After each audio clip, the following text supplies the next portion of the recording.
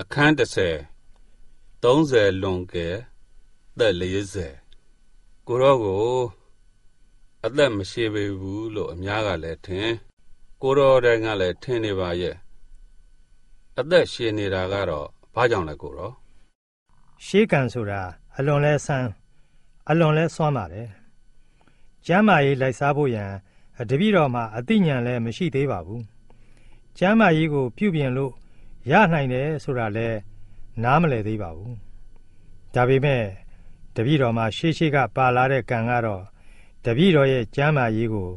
လမ်းစာပေါ်အောင်စီမံပေးသလိုဖြစ်နေပါတယ်ဖြစ်ပုံလေးပြောစမ်းပါဦးဗျာအလံကုန်းမှာနာမည်ထင်ရှားပြီးတော့ဖုံးတော်ကြီးဥနာယကနဲ့မြောင်းမြဆရာတော်တို့မှာတက်ရွယ်တော်တူကြပြီးတော့အလွန်လဲရင်းနှီးကြပါတယ် ဝိသုဒ္ဓါယုံနေစဉ်ကမြောင်းမြဆရာတော်လောင်းစီမှာဖုံးတော်ကြီးဥနာယကကစာတက်ဖူးလို့အထူးလေးစားပါတယ်။မြောင်းမြဆရာတော်လောင်းကဖုံးကန်တယ်လို့ဆင်းရဲချိန်မှာကုညီထောက်ပံ့ပါတယ်။အဲ့ဒီချိန်မှာဖုံးတော်ကြီးဥနာယကကမြောင်းမြပိဇောဒာယုံတိုက်ကိုကြွလာပါတယ်။ပိဇောဒာယုံတိုက်မှလည်းသံဃာတော်တော်များနေပါပြီ။တပည့်တော်ကိုလည်းဖုံးတော်ကြီး ဥနာယကကဝိသုဒ္ဓါယုံတိုက်နေစဉ်တုန်းကပင် အခင်းနေပါတယ်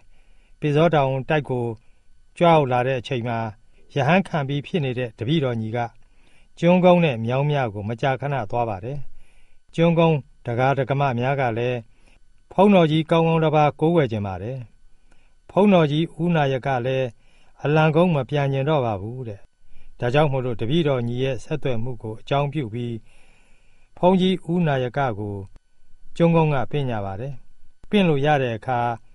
ဥယျင်ကြီးတစ်ခုကိုရွှေကျင်ကျောင်းသေးလို့သမုတ်ပြီးကျောင်းတိုက်တည်လိုက်ပါတယ်ကိုရော့ကျမ်းမာရေးနဲ့ဒီကျောင်းသက်ကဘယ်လိုဆိုင်နေတယ်လဲဖေ။သဘောပေါက်အောင်ရှင်းပြစမ်းပါဦး။ဆိုင်ပါတော့ဖေဟာ။ကျမ်းမာရေးအခြေခံဟာအဲ့ဒီကျောင်းတိုက်စတည်မိတဲ့အခါမှာတကာဒကမတွေကလည်းတပည့်တော်ကိုလာစေခြင်းဘုန်းတော်ကြီးကလည်းလာစေခြင်းပါတယ် ဒီအကြောင်းကိုတပည့်တော်ကသိပါတယ်တပည့်တော်ကလည်းစာချကိစ္စကိုအနားယူပြီးစာရေးကျင်ပါတယ်ဒါကြောင့်မန္တလေးကျောင်းတိုင်းမှာကထိန်ပြီးတဲ့အခါလာခဲ့ပါမယ်လို့ရှောက်လိုက်ပါတယ်ဒီအကြောင်းကိုကျောင်းသစ်ဖုံတော်ကြီးကသိတဲ့အခါတပည့်တော်လာရင်အေးအေးနေရအောင်တီးကြကျောင်းကလေးစီမံနှင့်ပါတယ်တပည့်တော်ကလည်းတစောက်မုံးလတရိုင်ကထိန်နဲ့တိုက်ကထိန်ပြီးတော့မန္တလေးကသွားပါတယ် ကိုတော်တပါးတည်းလားဖေဖော်ဘသူပါသေးတော့တပါးတည်းပါပဲဒါကြောင့်မန္တလေးဘူရာကြီးမှာလိုက်ပို့သူတွေပြန်သွားတဲ့အခါယထာရွဲပေါ်မှာတယောက်တည်းစဉ်းစားမိတယ်သေတယ်ဆိုတာဒီလိုတယောက်တည်းသေရတာပဲသေတဲ့သူဟာဘာမှမပါတော့ဘူးတပည့်တော်မှာဟိုကြရင်စာရေးဖို့စာအုပ်တစ်တာနဲ့အဝတ်သင်္ကန်းအိတ်စရာခြုံစရာထဲ့တဲ့ ဖာတလုံးပါသေးရဲ့စားစရာလည်းမပါစားရလို့တောက်စရာတော့ဓာဘူးထဲမှာထည့်ပေးလိုက်တဲ့ဘီလိုက်ရည်နှလုံးစာပါရဲ့ဖိုက်ဆန်လည်းလုံးလုံးမပါအဒီတော့နက်ဖန်နန်နဲ့စားကြီးကစပြီးတော့ကြောက်ကြသေးသလားလို့ကိုကိုကိုမေးပါတယ်မကြောက်ကြတဲ့အပြင်စိတ်ကြည်ပြီးတော့နေပါတယ်မနက်ဖန်နန်နဲ့ပြွန်တစားယထာဆိုင်ရင်ပြွန်တစားကလာကြိုးလိုက်မယ် အဲ့ဒီနေရာမှာရက်နဲနဲနေပြီးရန်ကုန်ရောက်တော့လဲရန်ကုန်ကဒေါ်သက်စုဒေါ်ကုဏဒေါ်ညာနာတို့ကဂယုစိုက်ကြလိမ့်မယ်ရန်ကုန်မှာခဏနားပြီးရင်ကျွန်းကုန်းသွားမယ်တခင်ဟိန်တို့ကဝါခဲမကိုလာပြီးကြိုကြလိမ့်မယ်အဲလိုတွေးပြီးမန္တလေးကအဖော်တွေမှာပါပဲတယောက်တည်းစိတ်အေးချမ်းနေပါတယ်အဲ့ဒီနောက်တေကြတယ်ဆိုတာဒီလိုပဲလို့စဉ်းစားမိပါတယ်ဒီဘဝကပစ္စည်းတွေလည်း ဘာမှမယူနိုင်ဘူးတန်ရောစဉ်ဖြစ်သူတွေလည်းတယောက်မှမပါနိုင်ဘူးဒါပေမဲ့ကုသိုလ်ကောင်းမှုတွေကောင်းကောင်းပြုနေတဲ့သူအတွက်တော့အဲ့ဒီကောင်းမှုတွေနောင်ဘဝတွေမှာဆွေမျိုးအစ်စ်မိတ်ဆွေအစ်စ်လို့ဖြစ်ပြီးစားဖို့နေကစပြီးအားလုံးအစဉ်ပြေအောင်စီစဉ်ထားသလိုဖြစ်စေတာပါပဲဒီတော့ဒီဘဝကတက်ရှိတက်မဲ့ပစ္စည်းတွေတန်ရောစဉ်တွေကို တွေ့တာနေဖို့မလိုပါဘူးမိမိမှာ ကုသိုလ်ဆွေမျိုးနေ့စဉ်တိုးဖို့သာလိုပါတယ်။တန်ရောစဉ်ဖြစ်နေသူတွေလည်းသူတော်ကောင်းကြီးဖြစ်ရင်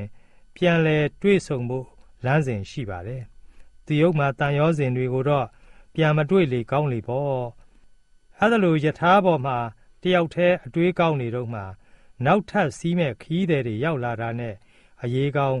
ဒိန်အောင်ဖြစ်တယ်လို့ဖြစ်သွားပါတယ်ဖေဟာ။ကိုရောလမ်းစဉ်အတိုင်းကျွန်းကုန်းရောက်တော့ ကိုရောရဲ့မျှမှန်းချက်ကဲ့ရဲ့လားဖေ။စိတ်ကူးကြတာတဲ့ပိုးပြီးကျေနပ်ဖွယ်တွေတွေ့ရပါတယ်။ဘုန်းကြီးဦးနာယကကတပည့်တော်ကိုမန္တလေးကျောင်းသားဘဝတုန်းကကလေးကခင်းနေတဲ့အပြင်စာမွေးပွဲတွေအားလုံးပြီးစီးနေတာကိုသတင်းကြားလို့အတော်ချမ်းသာအောင်စီစဉ်ထားပါတယ်။အဲ့ဒီဖုံးတော်ကြီးနဲ့အတူစာချဖုံးတော်ကြီးကလည်းတပည့်တော်နဲ့ပလိတ်မာရော ပခုတ်ကူမာရော အတူနေဖြစ်တဲ့ အခုလက်ဗုဒ္ဓဆရာတော်ဖြစ်နေတဲ့ဖုံးတော်ကလေးဥကုသလဖြစ်ပါတယ်။ကျောင်းသစ်ဆိုင်ရာတကားတကမအားလုံးကလည်းအရေးစိုက်ကြလို့တပည့်တော်မှာစိတ်ရောကိုယ်ပါအလွန်ချမ်းသာပါတယ်ဖေဟာဘလောက်ထိချမ်းသာအောင်ပြုကြလို့ကိုတော်ကကြားရသူတွေတရေရိုလောက်အောင်ပြောနေရတာတော့ဖေဟာရောက်ရောက်ချင်းတပည့်တော်နေဖို့အကြောင်းကလေးကိုတွေ့ရတော့စိတ်ချမ်းသာလွန်းလို့အဲဥဒန်းဂါထာလေးကိုရေးမိပါတယ်။ ကျောင်းကလေးကနှခမ်းသုံးခမ်းစမြင်ကအောက်အနှိတ်သုံးခမ်းတခမ်းရှိပါတယ်။သုံးခမ်းပတ်လဲလို့ဖြစ်နေတာပေါ့။အဲ့ဒီကျောင်းကလေးမှာဖုံးတော်ကလေးဥကုသလနဲ့အတူနေရပါတယ်။ကျောင်းပွဲဂါထာလေးကိုနားထောင်ကြည့်ပါဦး။တပ္ပယောအာလယောမရှံတောကရောဂံတိကိစ္စယံဂန္ထကမ္မံပဒါနာယ တန်တောတန်တတုမာပိတောတန်တောလေးပင်တိုင်တန်းဓဏီလွှမ်းလျက်စံပြားပလီလွမ်းအားပြေအောင်ကြမ်းကြားလီတညင်းညင်းနဲ့တသင်းသင်းအေးမြပေထသောတန်တသူမာပိတောမလာမီပင်ဟိုရခင်ကကြိုတင်ကသူတော်ကောင်းတို့စုပေါင်းတိုက်မြိုက်ထိုက်အလိုက်ဖြင့်ဂရိုက်ကြိုက်ဖန်ဆင်းအပ်ထသော မရှမ်းငါဤအာလယောယခုလိုကံကုသိုလ်ဖန်သဖြင့်အယံနှင့်အစွမ်းကုန်စက္ခန်းဆောင်၍မန်းပုံမေ့မြမွေ့เสียနှင့် တွေ့ရပေတောင်ဤကြောင်းကလေးသည်တောကယောဂံတောကဗျာပါအရာရာနှင့်ခါကာပွားတို့ယောဂါမျိုးကိုတိကိတ်စယံကူစားဖေးမှဘေးမခအောင်အေးမြစေမှုကင်းအောင်ပြုလျက် ဂန္ထကမ္မံသာသနာဝန်တန်းယဟန်တို့တာကျမ်းစာပြုနည်းအမှုကြီးကိုဗဒါနာယမကြောက်မရွံ့နောက်မတွန်ပဲတက်ဆွန့်ကြိုးကုပ်အားထုတ်ခြင်းဟာတပ်ပယောဝတ္တစေဝါလဲဆုံဓာတ်စာဆုံဖြင့်အကုန်မြင့်ကျွယ်ဟောအပုံကြီးတင့်တယ်ပါပြီစွာတကားအဲ့ဒီတနေ့ကြောင်းလေးမှာနေရတာနဲ့ပဲကိုတော့ကျမကြီးကကောင်းလာရောလား ဒီဟာကြောင့်ကြီးတော့ဘယ်ဟုတ်ပါမလဲဖေဟာခန္ဓာကိုယ်မှာရှိတဲ့ရုပ်ဆင်ဟာကမဇရုပ်ဆင်စိတ်တဇရုပ်ဆင်ဟုတုဇရုပ်ဆင်အာဟာရဇရုပ်ဆင်အဖြစ်လေးပါးသောရုပ်ဆင်တွေဖြစ်ပြနေတာဖြစ်လို့စိတ်ဥရုအာဟာရဆိုင်ရာတွေကစုံပြီးကောင်းလို့သာကျမ်းမာရေးကောင်းဖို့ဖြစ်လာတာပါဘယ်လိုကောင်းမွန်လဲကိုရောရနတ်နဲ့အာယုံစောစားတဲ့အခါတပိတော်ဖို့ တိကျဓာတ်စာဖြစ်တဲ့ ဟင်းတစ်ခွက်အပူပါပါတယ်အာယုံစောစားပြီးအတော်ကြာတဲ့အခါနေ့စဉ်မှန်မှန်အုံစိမ့်အီတောက်ရပါတယ်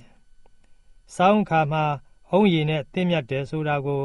ငယ်စဉ်ကပင်ကြားဘူးနေပါတယ်နေစွန်းလဲတင်းမြတ်တဲ့ဟင်းကိုရွေးပြီးစားနိုင်ပါတယ်ဟင်းတွေကများတော့ရွေးချယ်လို့ရပါတယ်။နွားနိုလည်းကောင်းကောင်းစစ်စစ်တောက်ရပါတယ်။ဒီလိုကောင်းတဲ့အစာတွေကိုများများစားတဲ့အခါ အစာဩကြည်ရလားဗျာ။တပည့်တော်ရဲ့ကမ္မဇဝမ်းမီကအလွန်ကောင်းပါတယ်။နေစွန်းစားနွားနိုတောက်ပြီးနောက်ရေချိုးပြီးတော့နိုင်ဝက်လောက်အိတ်လိုက်တဲ့အခါမှာအဲဝမ်းထဲမှာချောင်းချောင်းလဲလဲရှိသွားပါတယ်။ညနေကျတော့စားလာပါတယ်။အဲ့ဒီချိန်မှာဝင်တိုးလို့ခေါ်တဲ့ဘီလက်ရည်အကောင်းစားကိုတောက်ရပါတယ်။အဲဒီတုန်းကတလုံးမှ6ပြားပေးရပါတယ်။မြို့မှာတော့တပဲပါ။ ဒီလိုဆိုတော့ကိုရောရဲ့စာသင်သားဘဝကနေစပြီးစာချဖုန်ကြီးဖြစ်တဲ့တန်အောင်အားနေနေတာဟာအားရှိတဲ့အာဟာရကိုမစားရလို့ဖြစ်ကြောင်းထင်ရှားတာပေါ့နော်မှန်ပါတယ်စာတင်သားအများနဲ့စာချဘုန်းကြီးအများမှဖြစ်တဲ့ယောဂဟာအာဟာရချို့တက်မှုကစပြီးဖြစ်ရတာများပါတယ်ဒီလိုဆိုတော့ကိုရောရဲ့အာဟာရဇယုတ်တိုးတက်ဖို့ကတော့သေချာနေပြီပေါ့နော်မှန်ပါတယ် အောက်ပြည်ဥရုဟာမိုးများလွန်းတဲ့အချိန်မှတပါးကြံချိန်မှာအညာအလဲပိုင်းဥရုတဲ့သားပါတယ်တပည့်တော်ရောက်တဲ့ဆောင်းတွင်မှာမန္တလေးဥရုလောက်မအေးပါဘူးဒါကြောင့်တပည့်တော်ရဲ့ခန္ဓာကိုယ်မှာဥဒုဇယုတ်တိုးတက်ဖို့ရလဲအခြေခံရနေပါတယ်อืมစေတဇယုတ်တိုးတက်ဖို့ရန်စိတ်ချမ်းသာမှုကတော့ကြောင်းကလေးရောဓာတ်စာဆေးဝါးရော အစာအာဟာရတွေရောစုံပြီးကောင်းတဲ့အပြင် ကြီးညိုကြတဲ့တရားဓမ္မတွေရဲ့ပြုစုယူရမှုကိုခံရပြန်တော့ကိုရော့ကန်ဟာအပုံကြီးတက်လာပြီလို့ဆိုရမှာပေါ့နော်မှန်ပါတယ်ဥပုံနေ့ဆိုရင်ဥပုသ်ဆောင်ကြအခြားနေ့မှလည်းညနေစာထမင်းစားပြီးရင်ဒကမာကြီးတော်တော်များများဟောဝါဒစကားနာယူကြနဲ့သူတို့လည်းပြောကြတပည့်တော်လည်းစိတ်ချမ်းသာခွင့်ရပါတယ်ဒီတော့စိတ်တစားယုတ်များလည်း မထင်မရှားတိုးနေပါလိမ့်မယ်ဆိုတာမှန်းဆသိနိုင်ပါတယ်အဲ့ဒီမှာနေတာဘယ်တော့ကြာသွားတော့ဗျာလေးလကြော်ကြော်ကြပါတယ်အဲ့ဒီအတွင်းမှာတရိုင်ကဆွေမျိုးတွေနဲ့ဆက်ပြီးထူးဆန်းတဲ့မှတ်စရာတစ်ခုဖြစ်ပါတယ်ဘယ်လိုဖြစ်တာလဲဗျာနေစွန်းစားပြီးရေချိုးရေချိုးပြီးတဲ့နောက်ထုံးစံအတိုင်းအိပ်ပါတယ်စောင်းပြီးအိပ်မပြော့တပြော့အချိန်မှာတရိုင်မှာ လူစုလူဝေးနဲ့အတုပချတဲ့အခါငိုတဲ့အတန်မျိုးကိုကြားရပါတယ်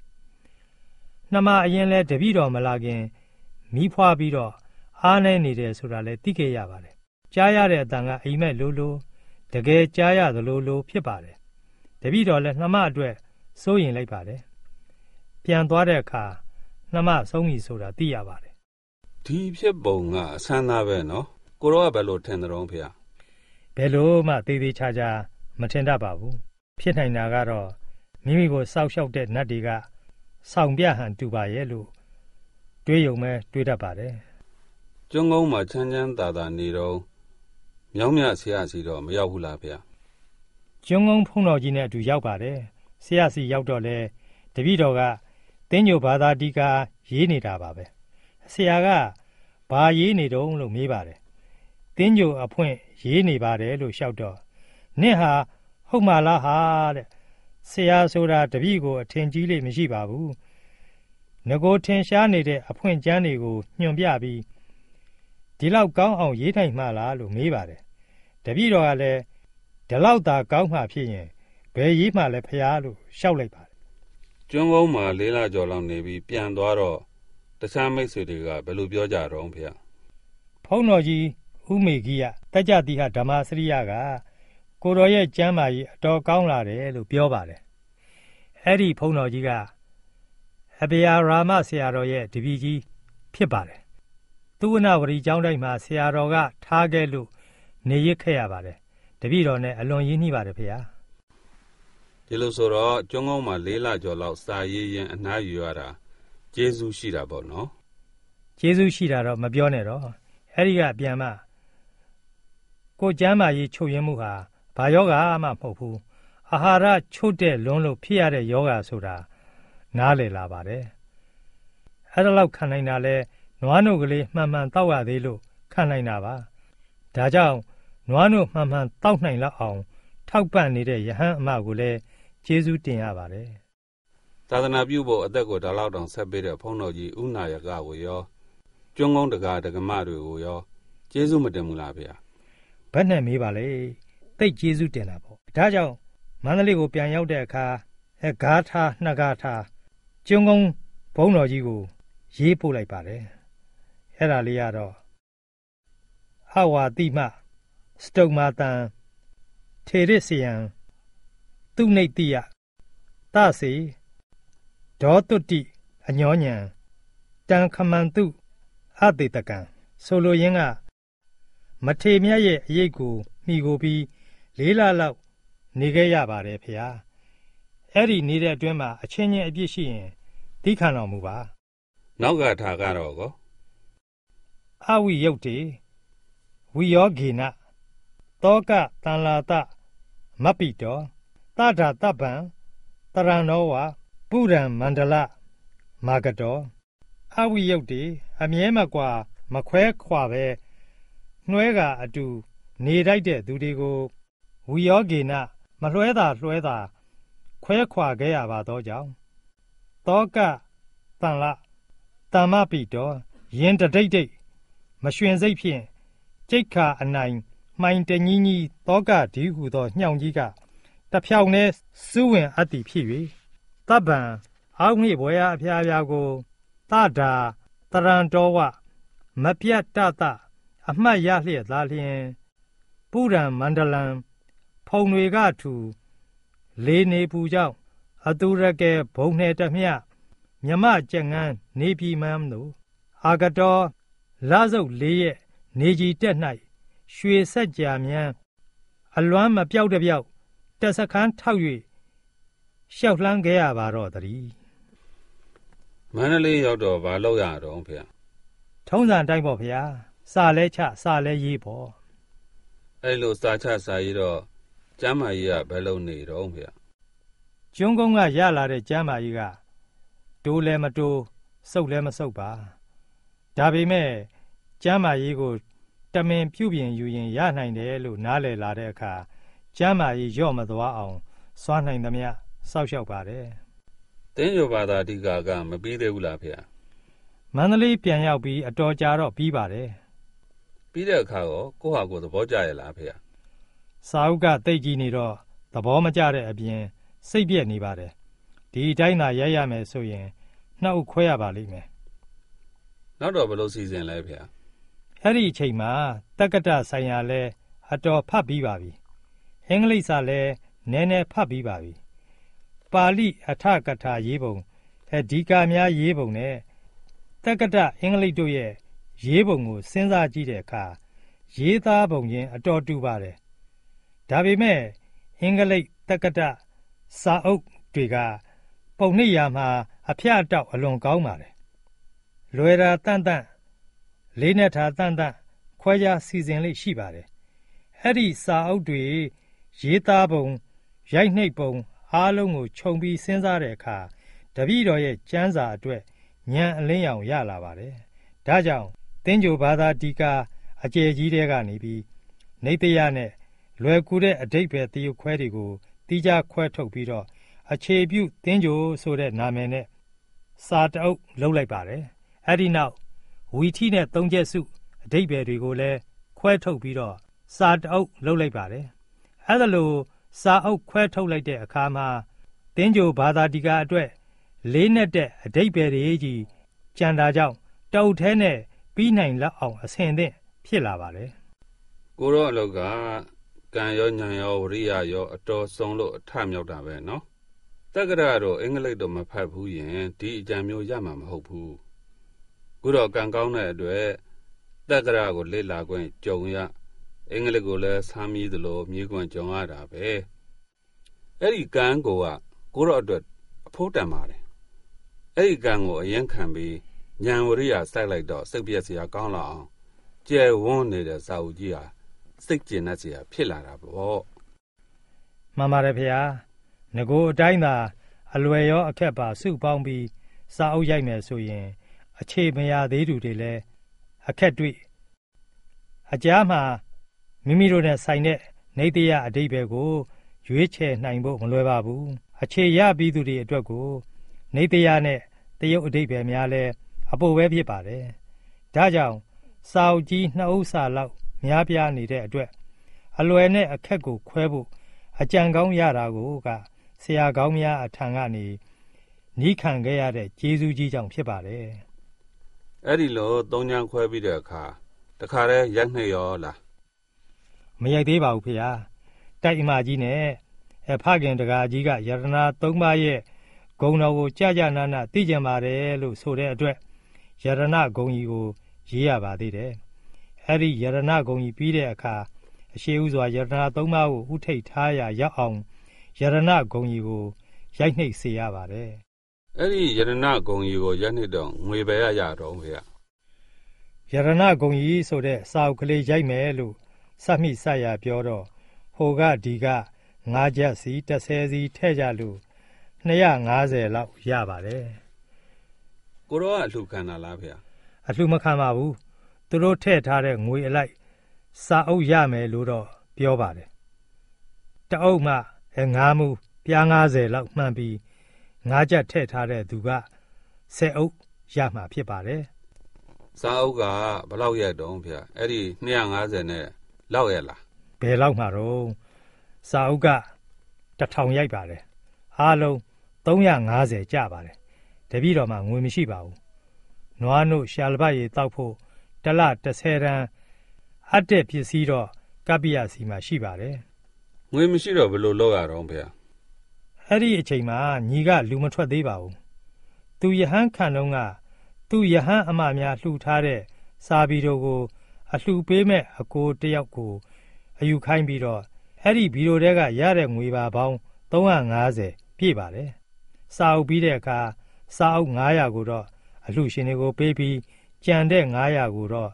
ညီကစီမံလို့ထိုက်တန်သလောက်ငွေဖြစ်ပါတယ်ကိုရောမှာပထမဆုံးစာအုပ်ကလေးကိုတော့ရက်ဖြစ်အောင်အတော်စူးစမ်းရတယ်နော်ကိုရောယဟန်အမများအောက်ပြေကကြီးညိုသူတို့ကတာဝန်မယူကြဘူးလားဗျာအဲ့ဒီစာအုပ်ကလေးရိုက်ခါနီးမှာတောင်မြို့ယဟန်အမဆုံးရှာပါတယ်ပလိယဟန်အမကတော့တိတ်မပေါ်လို့မပြောပါဘူးဆုံးသွားတဲ့ယဟန်အမမှာမွေးစားသမီးတစ်ယောက်ကြံရစ်ခဲ့ပေမဲ့အမကြခင်အိမ်အောင်ကြလို့ သူ့ကိုလည်းမပြောမိပါဘူးဒါပေမဲ့သူကဆက်ပြီးတော့တစ်လ30ထောက်ပံ့နေပါတယ်သားဦးရတဲ့အခါအဲ့ဒီသားအတွက်အသုံးစိတ်ပိုလာလို့သူ့အထောက်ပံ့ကိုအတပည့်တော်ကပဲရန်နာစေရပါတယ်မိဘများကပျက်စီးရှောနေပေမဲ့နှစ်ဖက်ဆွေမျိုးတွေပျက်စီးပေါ်သေးတာပဲသူတို့စီမတောင်းဘူးလားဗျာတပည့်တော်ကမျက်နှာငယ်ခမ်းပြီးဘသူကိုမှမပြောပါဘူး သူတို့ကလည်းတပည့်တော်ကနာမည်ကြီးတော့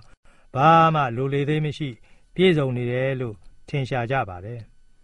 အောက်ပြေကကြီးညိုသူတွေကလည်းဒီလိုပဲထင်ကြပါတယ်ဘုံကံနေရာမှာတော့တပည့်တော်ကဟန်လာရှိပါတယ်အဆန်မရှိပါဘူးခင်ဗျာဒီစာအုပ်လေးရက်ပြီးတော့နောက်စာအုပ်ရက်နိုင်သေးရလားဗျာကိုလှုပ်ချင်တာတော့တနည်းနည်းနဲ့ပြီးစည်းအောင်မြင်နိုင်ဖို့ကံပါဟန်တူပါတယ်ယရဏဂုံကြီးစာအုပ်ကလေးပြီးတဲ့အခါ အကြောင်းအားလျော်စွာညီယဟန်အမရဲ့သားဖြစ်တဲ့သခင်အိမ်ကကြောင်းရောက်လာပြီးအတော်ကြာကြာနေပါတယ်သူကသခင်ဖြစ်တော့ဘာသာရေးကိစ္စတွေမှာတပည့်တော်ရဲ့အယူဆကိုသဘောကျပါတယ်သူ့မှာလည်းဘာသာရေးကိစ္စမှာသဘာဝကြကြအတော်နားလည်ဖို့ဩဝါဒတွေကိုနာယူရပါတယ်ပြီးတော့တပည့်တော်မှာနာမည်ကြီးပေမဲ့စားရေးတောက်ရေးကစပြီးပေါ်ပေါ်များများမဟုတ်ကြောင်းကိုသိတဲ့အပြင် ငွေမရှိကြောင်းကိုလည်းသိသွားပါတယ်။အဲဒါကြောင့်နောက်စာအုပ်တွေအတွက်သူတို့ထံကအကူအညီရဖို့အခွင့်ကောင်းကြုံလိုက်ရပါတယ်ဒါဖြင့်ယရဏဂုံကြီးရိုက်ပြီးတဲ့အခါအခြေပြုသင်းညိုကိုဆက်ပြီးရိုက်တာပဲလား။ဆက်ပြီးမရိုက်နိုင်သေးပါဘူးဖေဟာ။နှစ်နှစ်လောက်ကြာမှရိုက်နိုင်ပါတယ်။အဲဒီစာအုပ်မရိုက်ခင်ဖခင်တကာကြီးဆုံးပါတယ်။ပလိယဟန်အမလည်းမရှိမနှောင်ပဲဆုံးပါတယ်။ သူတို့နှစ်ယောက်လုံးယောဂဖြစ်ပုံကလည်းတူကြပါတယ်။အစာစားခြင်းရသားနဲ့စားလိုက်ရင်အန်အန်ထွက်လို့မစားနိုင်ကြပါဘူး။ခုခေတ်လို့ဆိုရင် အစာအိမ်မကောင်းတာဖြစ်ဟန်တူပါတယ်။အဲ့ဒီခေတ်ကဆေးရုံကိုလည်းအခုလောက်အားမကိုးသေးပါဘူး။ဆေးရုံကလည်းအခုလောက်မစွမ်းသေးပါဘူးကိုရောဖခင်တကာကြီးကိုကောင်းကောင်းပြုစုနိုင်ရလားဗျာ။ပြုစုဆိုတာငွေရှိမှဖြစ်တာပါ။ ငွေမရှိတော့တော်ယုံမဲ့ပြုစုနိုင်ပါတယ်။တကာကြီးအတော်ဖြစ်လို့လာခေါ်တဲ့အခါညီဦးပစင်းရဲ့တက်ကြတိဟဝင်ထားကြတဲ့တပည့်နှစ်ပါးရဲ့ခေါ်ပြီးလိုက်သွားကြပါတယ်။ငွေကတော့ညီဦးပစင်းကသွားပြောလို့တောင်မြို့ယဟန်အမစီကရတဲ့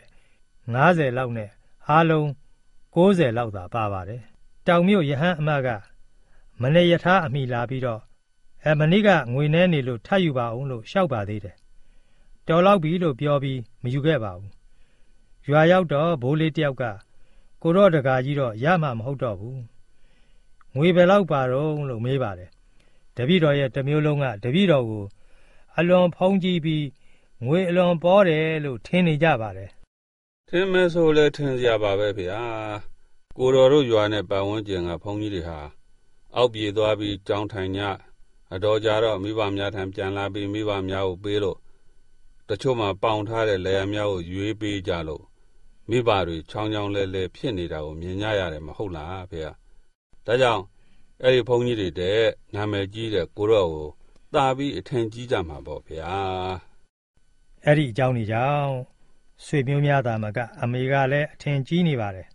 ။တပည့်တော်တို့က အပေးကမ်းနဲတဲ့ထင်ပြီး မကျေနပ်ကြပါဘူး။ဖခင်တကာကြီးကတော့ ကျောင်းကို မကြခဏ ရောက်တာဖြစ်လို့အကြောင်းမှန်ကိုသိရှာပါတယ်တပည့်တော်တို့ညီနောင်ကိုဘာမှအပူမရှာပါဘူးကိုရောတကကြီးလည်းဒီယောဂနဲ့ဆုံးတာပဲလားဖေ။အဲ့ဒီအချိန်မှာကုလို့မရတဲ့ယောဂဖြစ်လို့ဆုံးရှာတာပါပဲဖေ။တကကြီးဆုံးတာကနန်းနဲ့9နာရီလောက်မှပါ။မဆုံးမီညကတပည့်တော်တို့ဆရာတပည့်အိမ်မှာပဲအိတ်ကြပါတယ်။တပည့်တွေကိုအိမ်ဝန်းပတ်ဝန်းကျင်မှာပရိတ်ရွတ်ကြဖို့ပြောပါတယ်။ တကကြီးဆုံးပြီးလို့ထုံးစံအတိုင်းအကိုကြီးတွေညီတွေပြင်းနေတော့တပည့်တော်ကြောင်းပြန်ပြီးရေချိုးပါတယ်အဲမကြခင်ဆွေမျိုးတွေလိုက်လာပြီးဘယ်လိုစီမံကြမှာတော့လို့မေးပါတယ်ဥပဇင်းသဘောကတော့ညနေပြီးအောင်စီမံကျင်လာပဲလို့ပြောတဲ့အခါအားလုံးကမကျေနပ်ကြလို့ကျေနပ်တယ်လို့ထားကြပေါ့လို့ပြောလိုက်ပါတယ်ဒါကြောင့်ငားရက်ထားပြီးရရွာထုံးစံအတိုင်းတကြိုလိုက်ပါတယ်ဘုန်းကြီးများလှူရန်ကိုတော့ ပင်ကြောင်ဘုန်းကြီးကထုတ်ပေးလို့လှူရပါသေးတယ်တပည့်တော်ကတော့အမေစိတ်ဆင်းရဲမှဆိုလို့အားလုံးအလိုလိုက်ရတာပါအလုတ်အပိုကြီးပဲလို့နားလည်ပြီးဖြစ်ပါတယ်အဲ့ဒီကိစ္စပြီးတော့ချက်ချင်းပဲမန္တလေးပြန်ခဲ့ရောလားမပြန်နိုင်သေးပါဘူးဖေ။ဖခင်အလောင်းကိုမီးတင်းညိုပြီးတဲ့ညမှာအိမ်သွားပြီးဆွေမျိုးလူကြီးတွေကိုပြောရပါတယ်။ဥပဇင်းတော့မန္တလေးပြန်ရပါလိမ့်မယ်။တကာကြီးရှိစဉ်ကကျွေးတွေတင်းနေတယ်ဆိုတာလည်းသိပါတယ်။ အဲ့ဒီကျွေးတွေနဲ့ဒကမာကြီးကိုထားခဲ့လို့မဖြစ်ပါဘူးအတူနေသားကလည်းလိမ္မာသူမဟုတ်တော့တကဘာကြီးမှာပိုးပြီးဒုက္ခရောက်ပါလိမ့်မယ်။ကျွေးတွေကိုဖြစ်နိုင်တဲ့နီးနဲ့ရှင်းပေးကြပါလို့ပြောရပါတယ်။ကိုတော့မှငွေမရှိဘူးလို့ဆိုတယ်။ဘယ်လိုဖြစ်ရှင်းလို့ဖြစ်မှလဲဖေ။ကျွေးကလေယာတွေအပေါင်နဲ့ထားတာဖြစ်လို့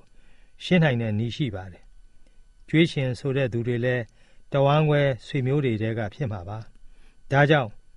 ရှင်းဖို့ရန်ဖြစ်နိုင်တယ်လို့ယူဆပါတယ်ဖြစ်ကောဖြစ်ရလားဖေ။တပည့်တော်ထိုင်နေတော့မှလဲဥတာယဆိုတဲ့ဦးကြီးနဲ့ဦးစိတ်တဆိုတဲ့အကိုကြီးတို့ထသွားပြီးမကြခင်ပြန်လာတာပါပဲ။ကျွေးရှင်ကလည်းအားလုံးရှင်းတဲ့အပြင်အမေနဲ့အတူနေတဲ့သားဖြစ်သူကကောင်းကောင်းမွန်မွန်လုတ်ကင်စားမယ်ဆိုရင်ကျွဲနွားတွေကို မသိမ့်ပဲထားပါမယ်လို့ပြောလိုက်ပါတယ်။ အဲ့ဒီချိန်မှာ16ဧကရှိတဲ့လယ်ကလေးတော့လွတ်လွတ်လပ်လပ်ကြံသေးတယ်ထင်ပါတယ်ညီသာလိမ္မာရင်လောက်ကင်စားနိုင်ပါသေးတယ်ကိုတော်ကပခောက်ကူတိုက်ကြီးရစာချဖုံကြီးမန္တလေးပရိယတ်ဒီသာသနာဟိတတက်ကြသည်ဟာအသင်းကြီးရဲ့ဓမ္မစရိယစာချအစိုးရပထမကျော်မရှောင်လာတဲ့အခါတရားဟောဓမ္မဂတိကအကျမ်းစာအုပ်တွေကိုစပြီးရေးသားနေတဲ့ကျမ်းပြူပုဂ္ဂိုလ် ဒီလို ဂုံတူးတွေ ရှိနေပါရဲ့နဲ့ ဖခင်တကာကြီးအတုပချပြီးတဲ့ညမှာကျွေးစီရင်ရှင်းရတယ်ဆိုတော့ ကိုတော့အတွက် ဝမ်းနည်းစရာ အလွန်ကောင်းတာပဲ ကိုတော့ ဝမ်းမနေဘူးလားဗျဒီချိန်မှာ ဗုဒ္ဓမြတ်စွာရဲ့ တရားတော်ကြီးတွေဇတ်တော်တွေကိုလည်း သိလဲသိ ပို့ချလဲပို့ချနေတာဖြစ်တော့ ဒီလောက် လောကရန်ကို ခံနိုင်ဖို့အတွက် တပည့်တော်မှာ လုံလောက်တဲ့ တရားလက်နဲ့ရှိနေပါပြီဖေဟာ ဒီတရားလက်နဲ့တွေနဲ့ရှေ့ကလည်းခံနိုင် အခုလည်းခံနိုင် နောင်တွေ့လက်တံတွေကိုလည်းခံနိုင်တာကြောင့်တရားတော်ရဲ့ကျေးဇူးတော်အနန္တကိုတပည့်တော်မှာကိုတွေ့ရရှိနေကြောင်းသိတာနေပါတယ်ဗျာသာရုပါကိုရောသာရုပါသာရုပါဒါတဲ့ကိုရောပြန်သွားတဲ့အခါကိုရောညီမိုက်ကကောင်းကောင်းမွန်မွန်နေရရဲ့လားဗျာဒီဟာကတော့မပြောနိုင်ပါဘူးပစ္စည်းတွေ တာပြီးတော့ယော့သွားတာဟာသူဖြုံးတာလည်းအများကြီးပါပါတယ်။ကောင်းကောင်းလှုပ်ရှားရင်အိမ်နဲ့ယာနဲ့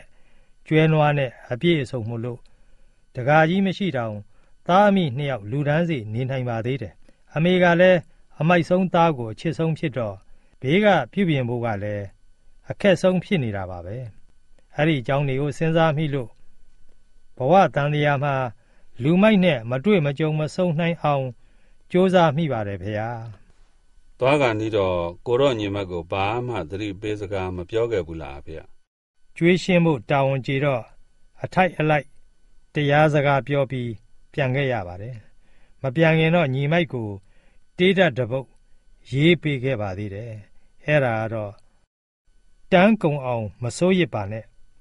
အမျိုးစစ်မျိုးမှန်စိုးညစ်တော့ဖိုးမတန်သည်ရိုးမှန်မှန်သဘော အောင်ဤ၍ဖြောင်တီးစွာငယ်စောင့်စည်းက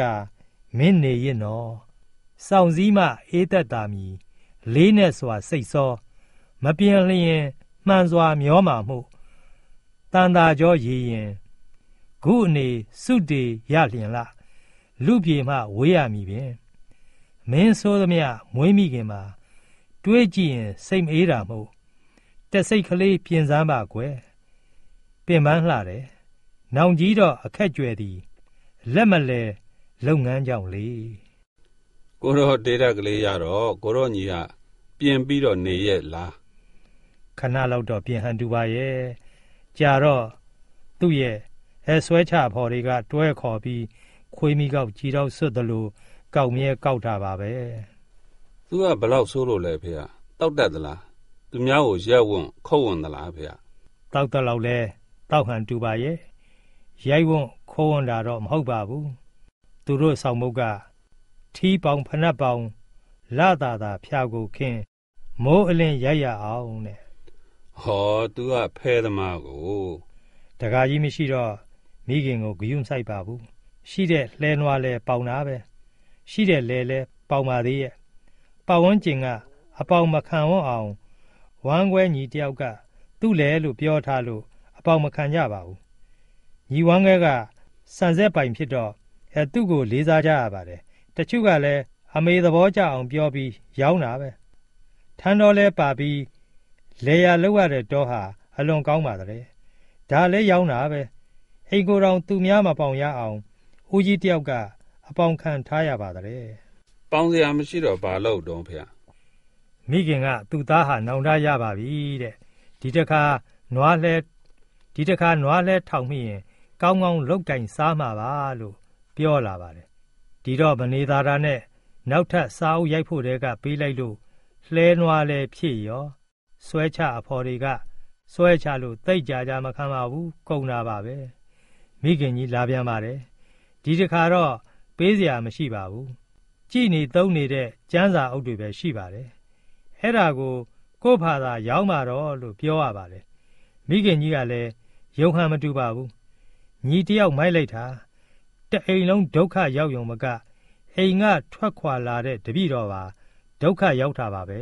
။အဲ့ဒီအချိန်မှာညီဦးပဇန်းကတော့လူမထွက်သေးဘူးပေါ့နော်။သူကလူမထွက်သေးပါဘူး။သူကတော့သူ့ကိုလူမိုက်ရဲ့သဘောကိုသိလို့ဘာမှဂရုမစိုက်ပါဘူးဒီလိုဖြစ်ရတဲ့ဟာတကာကြီးဆုံးပြီးအတော်ကြာမှဖြစ်တဲ့ကိစ္စတွေပါတကာကြီးဆုံးပြီးလို့ပြန်လာတဲ့အခါ တပည့်တော်ရဲ့စိတ်တွေလည်းမတည်ငြိမ်သလိုဖြစ်နေပါတယ်ဒါကြောင့်အဘယာရာမဆရာတော်ထံခွင့်ပန်ပြီး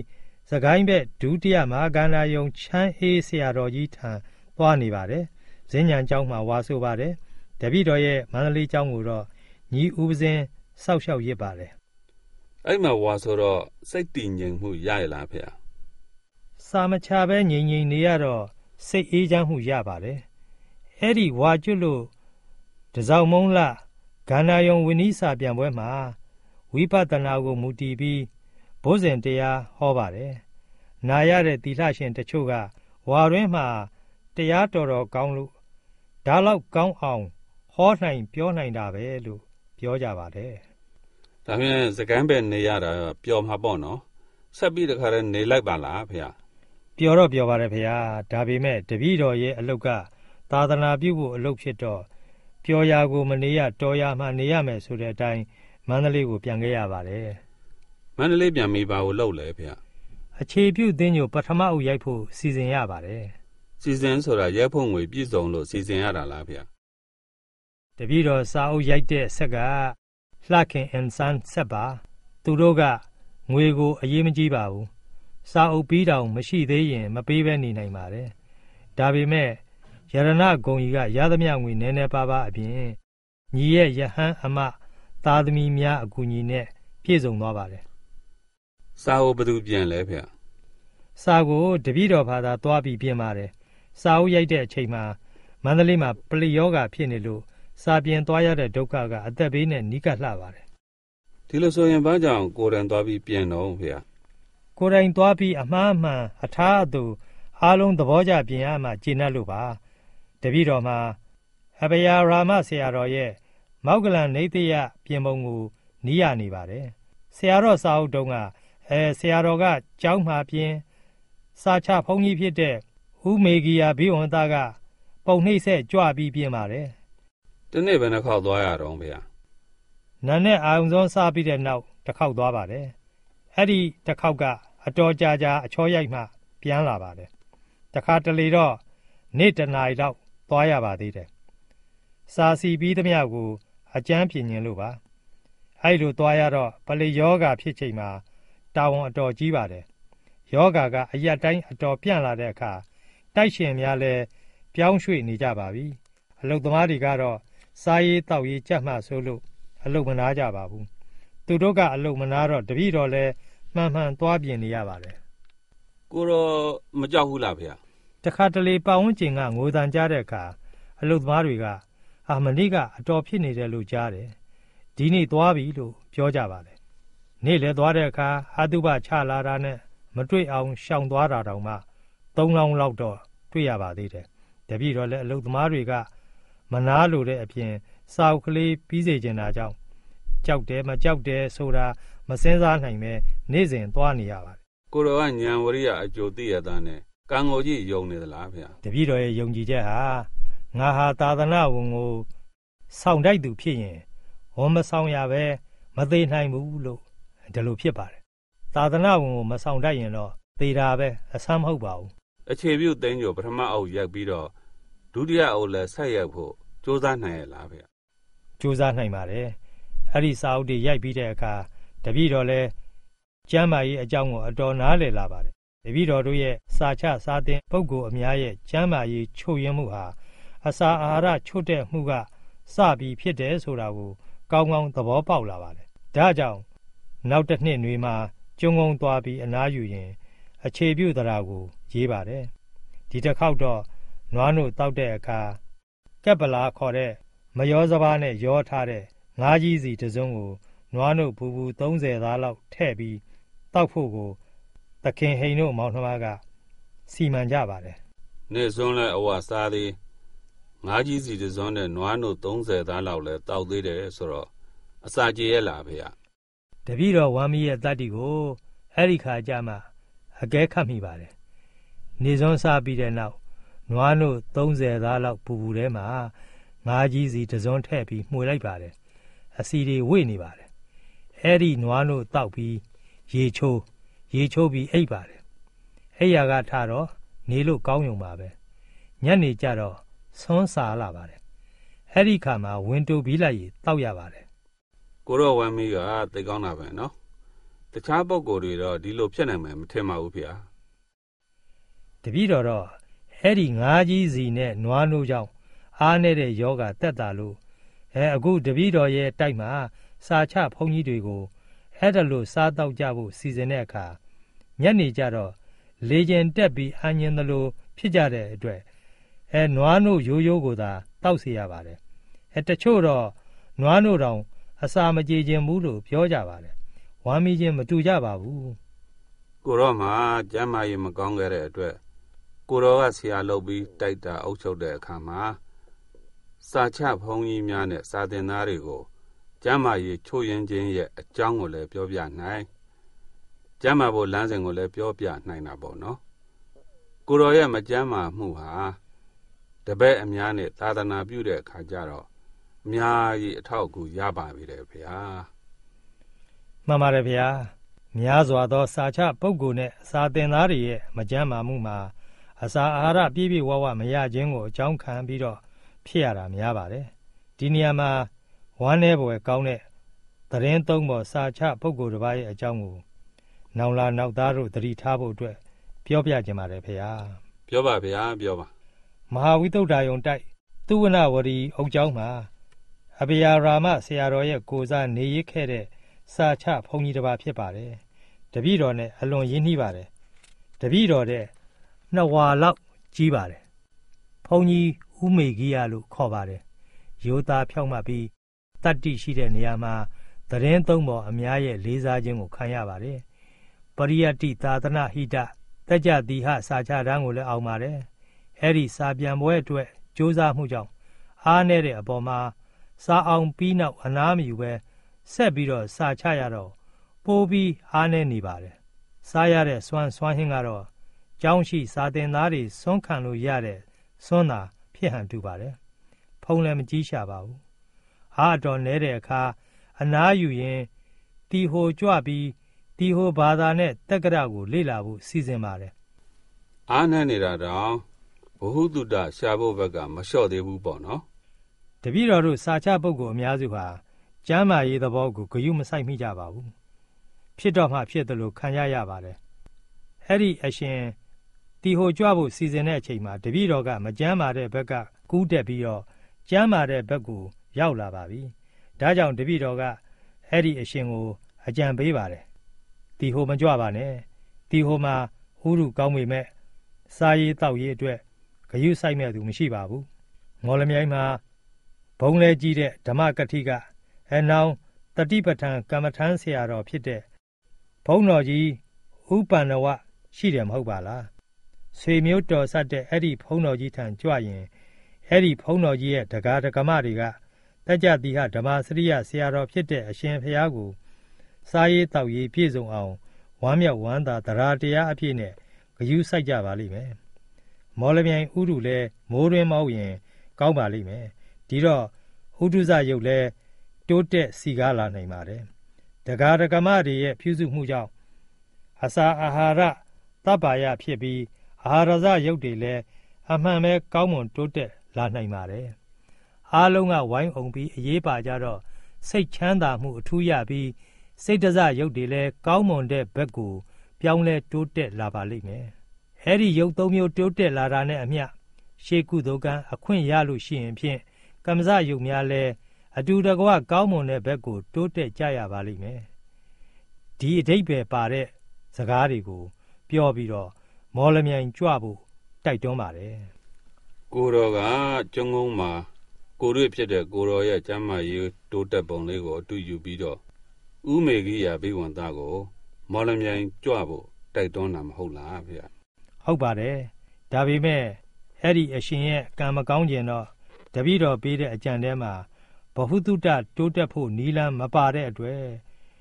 တီဟိုကိုသာကြွသွားပါတယ်ကံမကောင်းရင်တော့အမျော်မြင်ညံလည်းမကောင်းနိုင်ဘူးလို့ကျမ်းစာတွေမှာမိတ်ဆိုထားပါတယ်ဘယ်လိုဆိုထားလဲကိုတော့ ရှေးကံရဲ့အပြစ်ဒဏ်ကိုခံရတဲ့တတ္တဝါမှာပျက်စီးဖို့ရှေ့ရှုလာရင်နီးမှန်လမ်းမှန်မဟုတ်တဲ့အလုတ်ကနီးမှန်လမ်းမှန်ရောင်ရောင်ပုံဟန်ဆောင်ပြီးတော့အတိညာဉ်ကိုလွှမ်းမိုးပြီးမာမာမတ်မတ်ရက်နေတယ်လို့ပေါ်ထင်လာတတ်တယ်လို့ဆိုထားပါတယ်ကာမပရာဒတတ္တနံဝိနာတိပိစုတ်ပတ္တိတေအာနယောနယရူပေန ဗုဒ္ဓိမက်ကမ္မတိတ်တတိတီဟိုမှာတော်တော်ကြာအောင်နေနိုင်ရလားဖေမနေနိုင်ပါဘူးဥရုကောင်းမိမဲ့လဲအစာကငရုတ်သီးမစလားအပူစာတွေပါတာကြီးဖြစ်တော့မူလကမကြမ်းမာမှုတဲ့ပိုးပြီးမကြမ်းမာပဲတဝါလောက်နေပြီးပြန်လာပါတယ်ရောက်တဲ့အခါသတင်းသုံးမော်တွေကစွမ်းနိုင်သမျှတော့ကူညီကြပါရဲ့ဒါပေမဲ့သိပ်ပြီးမထူးကြလို့ဆေးရုံကြွပြီးနေရပါတယ် ဆေးရုံကလည်းဂုခစ်လောက်မပြည့်စုံပါဘူးအားစေးများလည်းများများမကြွေးနိုင်ဓာတ်မှန်လည်းရိုက်မကြည့်နိုင်တော့အတွင်းမှာ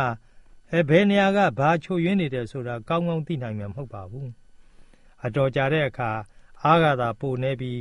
ယောဂအခြေအနေမသိရတာနဲ့ဆေးရုံကဆင်းပြီးဝိဇာလင်္ကာရကျောင်းလိုက်မှနေပါတယ်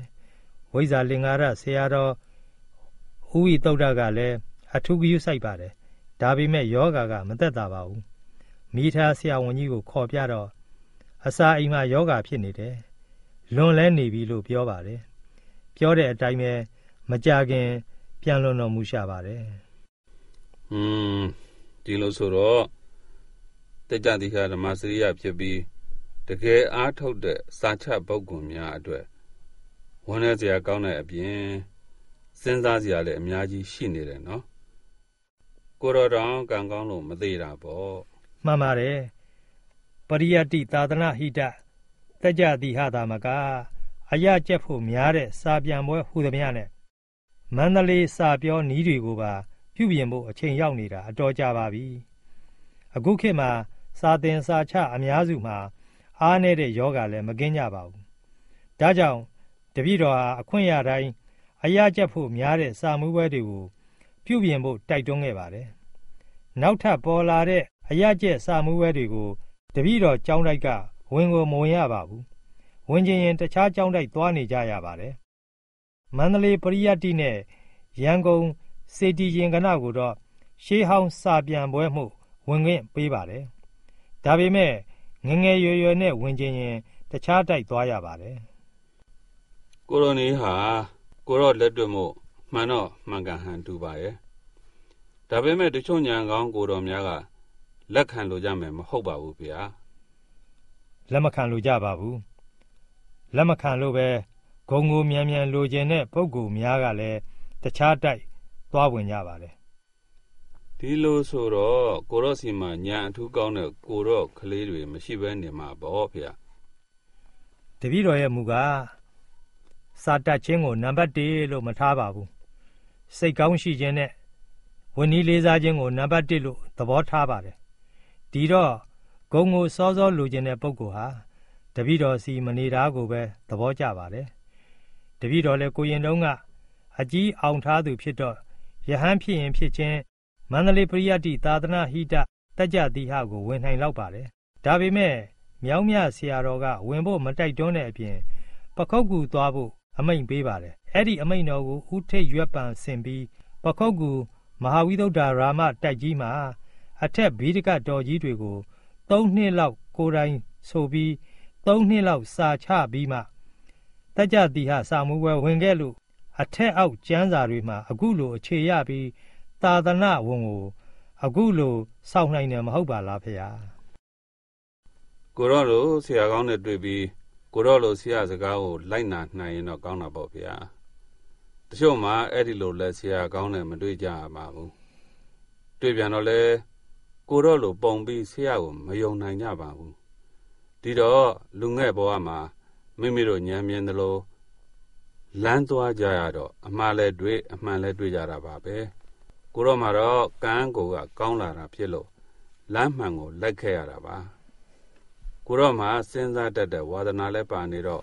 ကိုရောဖြစ်ပုံနဲ့ဆရာတော်ဦးမေကြီးရဲ့ဖြစ်ပုံကိုစဉ်းစားလိုက်ရင် နောက်သားတို့အတွက်မှတ်စရာအချက်တွေ အတော်များများရနေတာပဲပေါ့နော်မှန်ပါတယ်ဥမေကြီးရလိုစိတ်သဘောဖြောက်မှတ်ပြီးတတ္တိရှိရှိနဲ့သာသနာဝန်ဆောင်နိုင်တဲ့ပုဂ္ဂိုလ်တစ်ပါးရဖို့ဟာစာချဆရာတော်တိုင်းမှမလွယ်ပါဘူး။ကြောင်းကြီးတိုက်ကြီးရဖို့ကလွယ်ပါသေးတယ်။အဲ့ဒီကြောင်းကြီးတိုက်ကြီးဟာလည်းစာချပုဂ္ဂိုလ်ကောင်းကောင်းမရှိရင်ကျေးဇူးမများပါဘူး။စာချနိုင်ပြီးသာသနာဝန်ဆောင်လို့တဲ့ပုဂ္ဂိုလ်ကောင်းကတော့ ဝကကြောင်းနဲ့နေရပေမဲ့စာချပြီးသာသနာဝန်ကိုဆောင်ရှာတာပါပဲ။လူတွေကတော့တောင်းကုံသိမ့်ကုံကြောင်းတိုက်ကြီးကိုသာဆောက်လို့ကြပါတယ်။စာတော်ပြီးအားနည်းသူကိုမထောက်ပံ့တတ်ဒီလိုစာတော်ပြီးအားနည်းနေတဲ့ပုဂ္ဂိုလ်တစ်ပါးကိုယာကုံထောင်ကုံအကုံကြခံပြီးဓာတ်စာကလေးနဲ့အားရှိတဲ့အစာနဲ့ပြုစုဖို့တော့နည်းနည်းလေးမှစိတ်ဝင်စားကြပါဘူး။ဒါကြောင့်အခုချိန်မှာ ယဟန်လောင်းကောင်းကောင်းရှာကြတဲ့တပြည့်တော်ဆိုင်ရာတကားတကမကိုပြောပါတယ်။စာတော်ပြီးဝိနည်းသိက္ခာကိုယိုသေးတဲ့ယဟန်လုံးရဖို့မလွယ်ပါဘူးငယ်တုန်းကဆရာဩဝါဒအတိုင်းကောင်းကောင်းနေပေမဲ့တော်တော်ကြီးရင်ပြက်ချင်လည်းပြက်တယ်လူတော်လည်းထွက်တတ်ပါတယ်မိမိတို့စိတ်ရင်းကသာသနာတော်ကိုချီးမြှောက်ခြင်းရင်အထောက်ပံ့အားနေပြီးဝိနည်းသိက္ခာလေးစားတဲ့အပြင်စာဘက်ကမညံ့တဲ့ပုဂ္ဂိုလ်ကိုယဟန်တစ်ပါးရတာက တာ၍သာသနာပြုကိစ္စ၌စိတ်ချရပါတယ်လို့ပြောလို့ရှိပါတယ်အဲ့ဒီစကားကိုသဘောကျပြီးတော့တိမ်ထပ်ပေးတဲ့ယဟန်အမများလည်းရှိကြပါတယ်ကိုတော့တုန်းကတော့ရန်ကုန်ဖွားလေးဆိုတဲ့မြေပိုင်ရှင်တက္ကမကြီးကတိမ်ထက်ချင်တာကိုအခွင့်မပေးခဲ့ပဲသူများအတွက်ကြမှာတိမ်ထက်တဲ့နည်းကိုအားပေးပြန်ပြီလားဖေ။တပည့်တော်အတွက်တော့နောင်ခါသာသနာပြုရေးကိုမျှော်တွေးလို့ခွင့်မပေးခဲ့တာပါ တခြားပုဂ္ဂိုလ်များအတွက်လည်းဘုံကံကြီးဖို့အားပေးတာမဟုတ်ပါဘူးအထောက်ပံ့မရရင်ဥမေဂိယလေးတွေဖြစ်မှဆိုလို့အကူကြီးကလေးမှရဖို့ရာတိမ်ထက်တဲ့နီလန်းကိုညွှန်ပြခြင်းဖြစ်ပါတယ်အရှင်ဖျားပဲစဉ်းစားကြည့်ပါဆရာတော်ဥမေဂိယမှာတက်ကြတိဟစာပြန်ပွဲအားထုတ်တုံးကအားမလဲအောင်နွားနို့ကလေးကိုမှန်မှန်တောက်ရရင်တက်ကြတိဟအောင်ပြီးတဲ့အခါမျှတတဲ့ဆွမ်းဟင်းကလေးများနဲ့နွားနို့ကလေးကိုရရင် ဒီလိုမဖြစ်နိုင်တာအမှန်ပါပဲဖေဟာအဲ့ဒါလောက်အထောက်ပံ့ကလေးကိုမျှမရလို့အားနေရာကယောဂဖြစ်ရတာပါတပည့်တော်မှာတော့ကိုကနားမလဲပေမဲ့ရှေ့ကံကစီမံလိုက်တော့အားနေတော့ကလည်းနွားနို့လောက်တော့တောက်ရပါသေးတယ်နောက်လဲအနားယူရင်စာရေးရင်းနဲ့ကျမ်းမာခြင်းဆိုင်ရာဓာတ်စာဆေးဝါးတွေကိုလည်းရရှိခဲ့ပါတယ်ဒါကြောင့်အဲ့ဒါလောက်အထောက်ပံ့ကလေးပင်လျင်သာသနာဝန်ဆောင်နိုင်ဖို့ အကြောင်းအလွန်ကောင်းနေပြီဖြစ်လို့နောက်ပုဂ္ဂိုလ်တွေအတွက်တိမ်ထပ်ဖို့လမ်းစဉ်ကိုညွှန်ပြခြင်းဖြစ်ပါတယ်ဖေဟာသာရုပါကိုတော့သာရုပါသာရုပါကိုတော့ကတော့ကံကောင်းလို့မသေးတဲ့အပြင်ဇာလဲချဇာလဲရေးတိုက်တာလဲအုပ်ချုပ်အတော့ကို အလုတ်လုံးနိုင်တာကတော့ကျမ်းမာရေးကိုအတော်ဂရုစိုက်လို့ပေါ့နော်တပည့်တော်ရဲ့တန်ဖိုးဟာကျမ်းမာရေးပေါ်မှာတည်ပါတယ်ဒါကြောင့်နေ့စဉ်အစားအသောက်ကို မိမိတတ်နိုင်သမျှကျမ်းမာရေးနဲ့ညီအောင်စားပါတယ်ကျမ်းစာရေးတာတောင်ကျမ်းမာရေးကြောင့်မတ်မတ်ရေးတာကများပါတယ်အထိုင်များရင်ခါပူလာလို့အထိုင်နဲ့အောင်မတ်မတ်ရပ်ပြီးအဲစပွဲအမြင့်နဲ့စာရေးတဲ့အကျင့်ကိုလုပ်ခဲ့ရပါတယ်ဟိုကဒီကပင့်ဖိတ်တာကိုလည်းမလွဲမရှောင်သားမှလိုက်ပါတယ်တရားဟောမှုကိုအသက်60ကျော်လောက်ကစပြီးတဖြည်းဖြည်းလျှော့လိုက်ပါတယ်အခုတော့ အပြင်မှာဟောတဲ့ကိစ္စကအလွန်နည်းသွားပါပြီ။တချို့ဒကာဒကာမတွေကတရားဟောဖို့ပြင်မရလို့အကြည်ညိုပြက်ကြဟန်တူပါတယ်။ပြက်တဲ့သူတွေပြက်ပေမဲ့မပြက်တဲ့သူတွေလည်းရှိသေးလို့ကြောင်းတိုက်မှာအထိုက်လျောက်တန်ခါအများနေနိုင်ပါတယ်။ရေးပြီးလို့အတော်ကြာနေပြီဖြစ်တဲ့သင်းယောဘာသာဒီကာကတော့ဘယ်အသက်အရွယ်ရောက်မှရန်နှိပ်ဖြစ်တယ်လဲဖေ။ဒီဘာသာဒီကာကျမ်းကကြီးတာလဲတကြောင်တပည့်တော်ရဲ့အသက်ကငယ်သေးတာလဲတကြောင်ငွေကုန်များစရာရှိလို့ မတတ်နိုင်တာလည်းတစ်ကြောင်းဒီအကြောင်းသုံးမျိုးကြောင့်ရိုက်နှိပ်ဖို့အတော်ချင့်ချိန်နေရပါတယ်။သင်ညိုဘာသာဒီကာမရိုက်ခင်ယရဏဂုံကြီးနှစ်ကြိမ်အခြေပြုသင်ညိုနှစ်ကြိမ်အခြေပြုသရာတစ်ကြိမ်ရိုက်နှိပ်ပြီးပါပြီကျမ်းကြီးတာနဲ့အသက်ငယ်တာဘာဆိုင်တော့ကိုတော့။ဆိုင်ပါတော့ဖေဟာဒီလိုကျမ်းဂန်ထဲမှာစည်ရင်ဝင်နိုင်တဲ့စာအုပ်ကြီးမျိုးကိုတက်တော်ကြီးနာမည်ကြီးဆရာတော်ဖြစ်မှ ရေးထုတ်လေရှိပါတယ်။တပည့်တော်ကစာချဘုန်းကြီးကလေးအဖြစ်သာနာမည်ရှိသေးတာဖြစ်တော့တပည့်တော်ရဲ့စာအုပ်ကြီးကို လူမလေးခွေးမခန့်ဆိုတာမျိုးဖြစ်မှဆိုရပါတယ်။ဒီလိုသာမလေးမခန့်ဖြစ်သွားရင်တပည့်တော်လည်းကိုယ်ပမာဏကိုမနှိုင်းချိန်နိုင်တတ်တဲ့ဦးကြောင်ကြောင်တရဝါတယောက်ဖြစ်သွားမှာပါပဲဒါကြောင့်လဲဒီစာအုပ်ကြီးကို မရိုက်နှိမ့်ပါဘူးဒီလိုမရိုက်နှိမ့်သေးပဲ စာချဘုန်းကြီးတချို့ကို ပြင်ရင်ဆင်ရင်ကြည့်ရှုစေပါတယ်အဲသူတို့ကအတော်သဘောကျလို့ရိုက်နှိမ့်ဖို့တိုက်တွန်းကြတော့လဲငွေရေးကမလွယ်ပါဘူးဖေဟာဘယ်နဲ့ကြောင့်မလွယ်ရတော့ဖေဟာရဏဂုံကြီးအခြေပြုသင်းညိုအခြေပြုတရာတို့ကငွေအထွက်မလွယ်ဘူးလားဖေဟာစာအုပ်ရေးရရိုက်ရတဲ့ဒုက္ခကို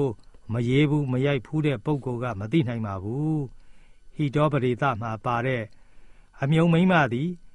ခလေးမွေးရတဲ့ဒုက္ခကိုမသိနိုင်ဘူးဆိုတဲ့အတိုင်းပါပဲဘေးအမြင်ကတော့သိလွယ်သိကောင်းလို့ထင်စရာပေါ့အဲ့ဒီပုံကိုယ်တွေကိုအမြုံလုံမနေပဲကိုယ်တိုင်မွေးကြည့်ပါလို့ပြောကြပါတယ်တပည့်တော်မှာတော့ចောင်းသားဘဝတုန်းကမဟာဝိသုဒ္ဓယုံဆရာတော်ဘုရားကြီးရဲ့ကျမ်းစာများအကြောင်းအတော်တော်ကြီးတော့သခိုင်းမဟာဂန္ဓယုံဆရာတော်ရဲ့နိဗ္ဗာန်မေဃဒီပဏီကျမ်းစာအကြောင်းလက်တွေ့အားဖြင့် အဘယာရာမဆရာတော်ရဲ့ကျမ်းစာတွေအကြောင်းကိုသိနေတဲ့အပြင်ယရဏဂုံရီကစပြီးစာအုပ်ကလေးတွေတောင်တော်တော်ကြိုးစားရတဲ့အတွက်ဒီစာအုပ်ကလေးတွေတဲ့ပိုးပြီးကုန်ကြပွဲကောင်းတဲ့သင်္ကြိုဘာသာဒီကာအတွက်ရိုက်နှိပ်ဖို့မရဲဝံပဲဖြစ်နေရပါတယ်။နောက်တော့ဘယ်နည်းနဲ့ရိုက်နိုင်လာသလဲဖေ။တပည့်တော်ရဲ့ကံကဖွင့်ဖွင့်ဖြိုးဖြိုးသာအကျိုးမပေးတာအလုတ်ဖြစ်အောင်တော့အကျိုးပေးတယ်ထင်ပါရဲ့။ ညီရဲ့ယဟန်အမသားသမီးများကအခြေပြုသင်္ကြိုအခြေပြုသရာရိုက်တုံးကလည်းနည်းနည်းပါးပါးလိုသလောက်အကူအညီကို ပေးခဲ့ကြပါတယ်။ဒါပေမဲ့သူတို့တောင်းကမဟုတ်ပါဘူး။တင်းကြိုဘာသာဒီကာရိုက်တော့နည်းနည်းပါးပါးကူညီုံနဲ့မရတဲ့အတွက်ကြောင့်တောင်းကန်အဖြစ်နဲ့ရိုက်ရပါတယ်။ဒီလိုရိုက်ဖို့ကလည်းအကြောင်းတိုက်ဆိုင်မှုကတော့ယဟန်အမကြီးရဲ့သမီးအကြီးအမလေးဆိုသူကအစကိုင်းကိုဝါတွင်ဥပုပ်ဆောက်မှုရောက်လာပါတယ်။ ဒီအခါမှာတင်းကြိုဘာသာဒီကာရိုက်ဖို့အတွက်ငွေအခက်ခဲဖြစ်နေတာကိုသိလို့သူကတာဝန်ယူပြီးရိုက်ပါမယ်လို့ရှောက်ပါတယ်ဒီစာအုပ်ကကြီးလဲကြီးတော့ငွေအရင်စိုက်ရတာများလိမ့်မယ်ရိုက်ပြီးတဲ့အခါလဲ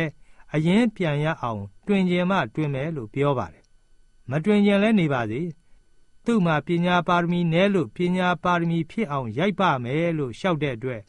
ငွေအခက်ခဲမရှိတော့ပဲတင်းညိုဘာသာဒီကာကို 38နှစ်အရွယ်ရောက်မှရိုက်ဖြစ်ပါတယ်လှခင်အင်ဆန်းပုံနှိပ်တိုက်ကလည်းငွေအေးမကြီးပါဘူးဒါပေမဲ့တပည့်တော်ကရိုက်ပြီးချုပ်ပြီးတဲ့အခါအားလုံးရှင်းပြီးမှစိတ်အေးတာမို့လို့အားလုံးပြည့်စုံအောင်စီစဉ်ရတာပါတဲ့ကိုရောရဲ့စာအုပ်ကလေးတွေထွက်လာတဲ့ကိုရောပတ်ဝန်းကျင်မိတ်ဆွေတချို့ကပရမတ္ထတရူပါတဲကကူးချတာပါကွာဝိသုဒ္ဓါယုံတုံးတဲ့ထဲကကူးချတာပါကွာလို့ သေးသိမ်အောင်ပြောကြတယ်တင်းညိုဘာသာဒီကစာအုပ်ကြီးထွက်လာတော့ဘယ်လိုပြောကြသေးတော့ဖေ။သူတို့ပြောတဲ့အတိုင်းမှန်သားပဲဖေ။သူတို့ကကျမ်းစာရေးတဲ့သဘောကို နားမလည်ကြလို့အထူးဆန်းလုပ်ပြီးပြောနေကြတာပါ။အရှင်မဟာဗုဒ္ဓဂောသတော်ဒီဟိုဘာသာနဲ့ရှိနေတဲ့ရှေးအထကထာဟောင်းကိုခြုံပြီးပါဠိဘာသာနဲ့ကူးတာပါလို့ဝန်ခံထားတာပဲ။ဒီဟိုအထကထာဆိုတာလဲအရှင်မဟာကတ္တဖတို့ ပထမတန်ဃာယနာတင်စဉ်ကရှိတဲ့မာဂဒဘာသာအထကထာကိုကူးရတာပါအရှင်မာကသဖတို့ရဲ့အထကထာဆိုတာလဲဗုဒ္ဓမြတ်စွာရဲ့ဟိုနာဒီနာမှာဟောတော်မူတဲ့ပကိဏကဒေသနာတော်ကိုကူးထားအပ်တဲ့အထကထာဖြစ်ပါတယ်အားလုံးအစဉ်စဉ်ကူးချတာကြီးပါပဲဒီတော့တပည့်တော်ကဆရာတော်ကြီးတွေရဲ့ကျမ်းစာကကူပြီး စာသင်ငယ်တွေနဲ့လျော်အောင် စီစဉ်တာဟာဘာများထူးဆန်းလို့တော့တင်းညိုဘာသာဒီကာထွက်လာတဲ့အခါတော့အဘိဓမ္မာအထကထာဒီကာကြီးတွေကထုတ်နှုတ်ချက်တွေကများတော့ဘာမှမပြောကြတော့ပါဘူးဒါလဲကူးချတာပဲမဟုတ်လားညောင်တုံးမြို့ရွှေဟင်းသာတောရတိုက်ရွှေကျင်ကိုင်းရဲ့ဥက္ကဋ္ဌမဟာနာယကသာသနာပိုင်တပါအပါအဝင်ဖြစ်တဲ့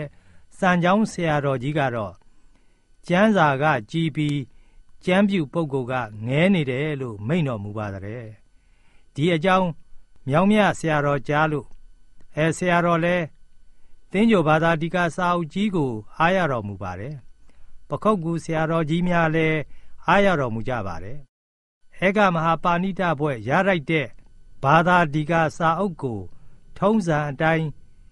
ကြောက်စာယုံကိုပို့လိုက်တော့ ကြောက်စာဝန်ကသူနဲ့ရင်းနှီးတဲ့ဆရာတော်တစ်ပါးကိုပြောပါတဲ့။တင်းညိုဘာသာတိကစာအုပ်ရဲ့အရေးချင်းဟာအေကမဟာပါဏိတဘွဲ့ရတိုက်လောက်အောင်မြင့်ပါတယ်။ဒါပေမဲ့ပုဂ္ဂိုလ်ကငယ်လွန်းလို့နည်းနည်းစောင့်ရပါလိမ့်မယ်လို့ဒီလိုစောင့်ရမယ်ဆိုတဲ့အချိန်မှာပဲဒုတိယကဘာစစ်ဖြစ်လာတာပါပဲ။ဩဒါကြောင့်လွတ်လပ်ရေးရပြီးတဲ့အခါဘွဲ့ရစိတ်မပေးပဲအကြာကြီးနေပြီးတဲ့နောက် ဘွဲတဲ့စိတ်စပေးတဲ့နှစ်မှာကိုတော်ဘွဲ့ပါလာတာကိုမှန်ပါတယ်အများကတော့အကြောင်းမသိလို့ထူးဆန်းတယ်ထင်ကြပါတယ်တပည့်တော်ကတော့အကြောင်းသိပြီးမှုမဆမ်းပါဘူးဖေဟာကိုတော်ဟာကပ္ပိယမရှိရင်ငွေကိုမထားဘူးလို့ဆိုပြီးဖောက်ကူနေတော့ကလည်းငွေနဲ့ဆက်ပြီးတော့ဝင်းနီးတော်နဲ့ညီအောင်စောင့်စည်းခဲ့တယ်ဒီလိုငွေအများကြီးနဲ့စားအုပ်ရတဲ့အခါ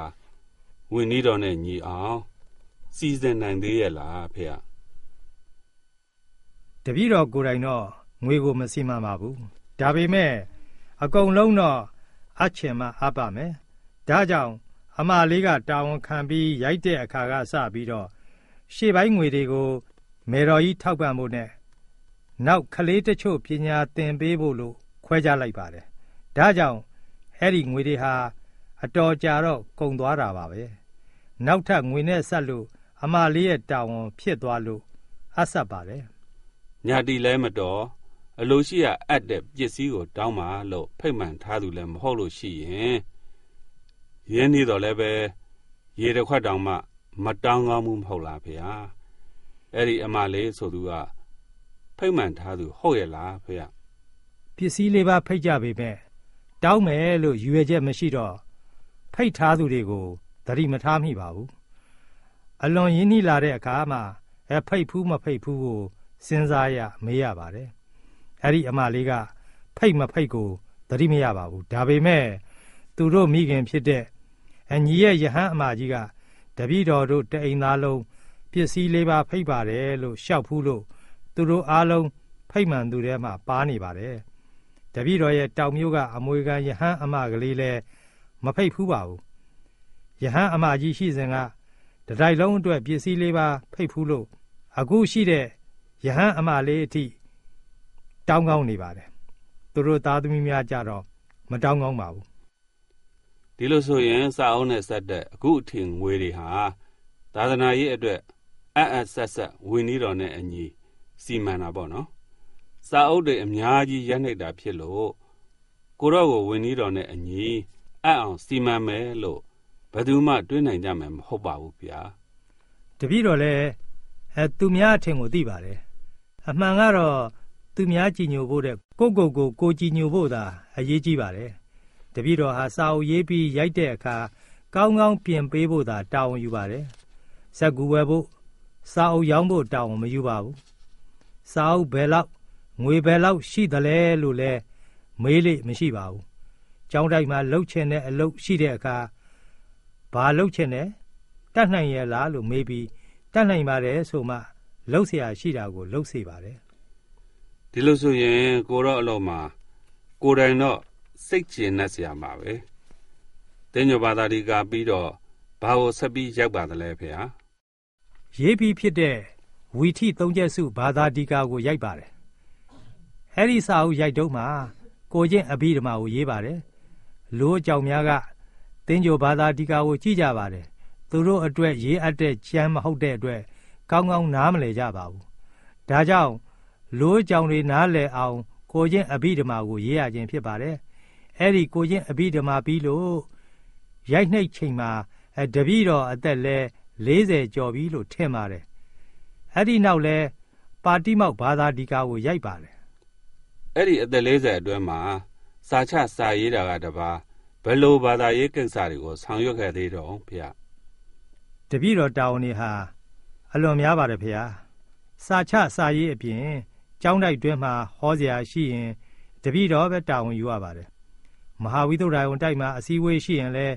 ဆရာတော်ရှိတဲ့အခါဆရာတော်နဲ့အတူသွားရပါတယ်ဆရာတော်ကတီဟိုကြွနေတဲ့အခါတပည့်တော်ကြီးလည်းသွားရပါတယ်တခါတခါစကိုင်းဘက်ကကိစ္စများကိုလည်းသွားပြီးဆောင်ရွက်ရပါတယ် တကန်းလုံးရဲ့အကျိုးရှိမဲ့အလုပ်ကိုတော့ဗာများလုပ်သေးတော့ဖေဟာပခုတ်ကူကပြန်ရောက်ပြီးတဲ့နောက်မန္တလေးဝိသုဒ္ဓယုံတိုက်မှာနေစဉ်ဝိသုဒ္ဓယုံတိုက်မှာရှိတဲ့ဆရာတော်ကြီးမှတပါးစာချအားလုံးစုပေါင်းပြီးစွန်းစားကြောင်းတစ်ကြောင်းတည်းမှစားဖို့တိုက်အုပ်ဆရာတော်ကြီးထံလျှောက်ဖူးပါသေးတယ်။စွမ်းတူစားရကစပြီး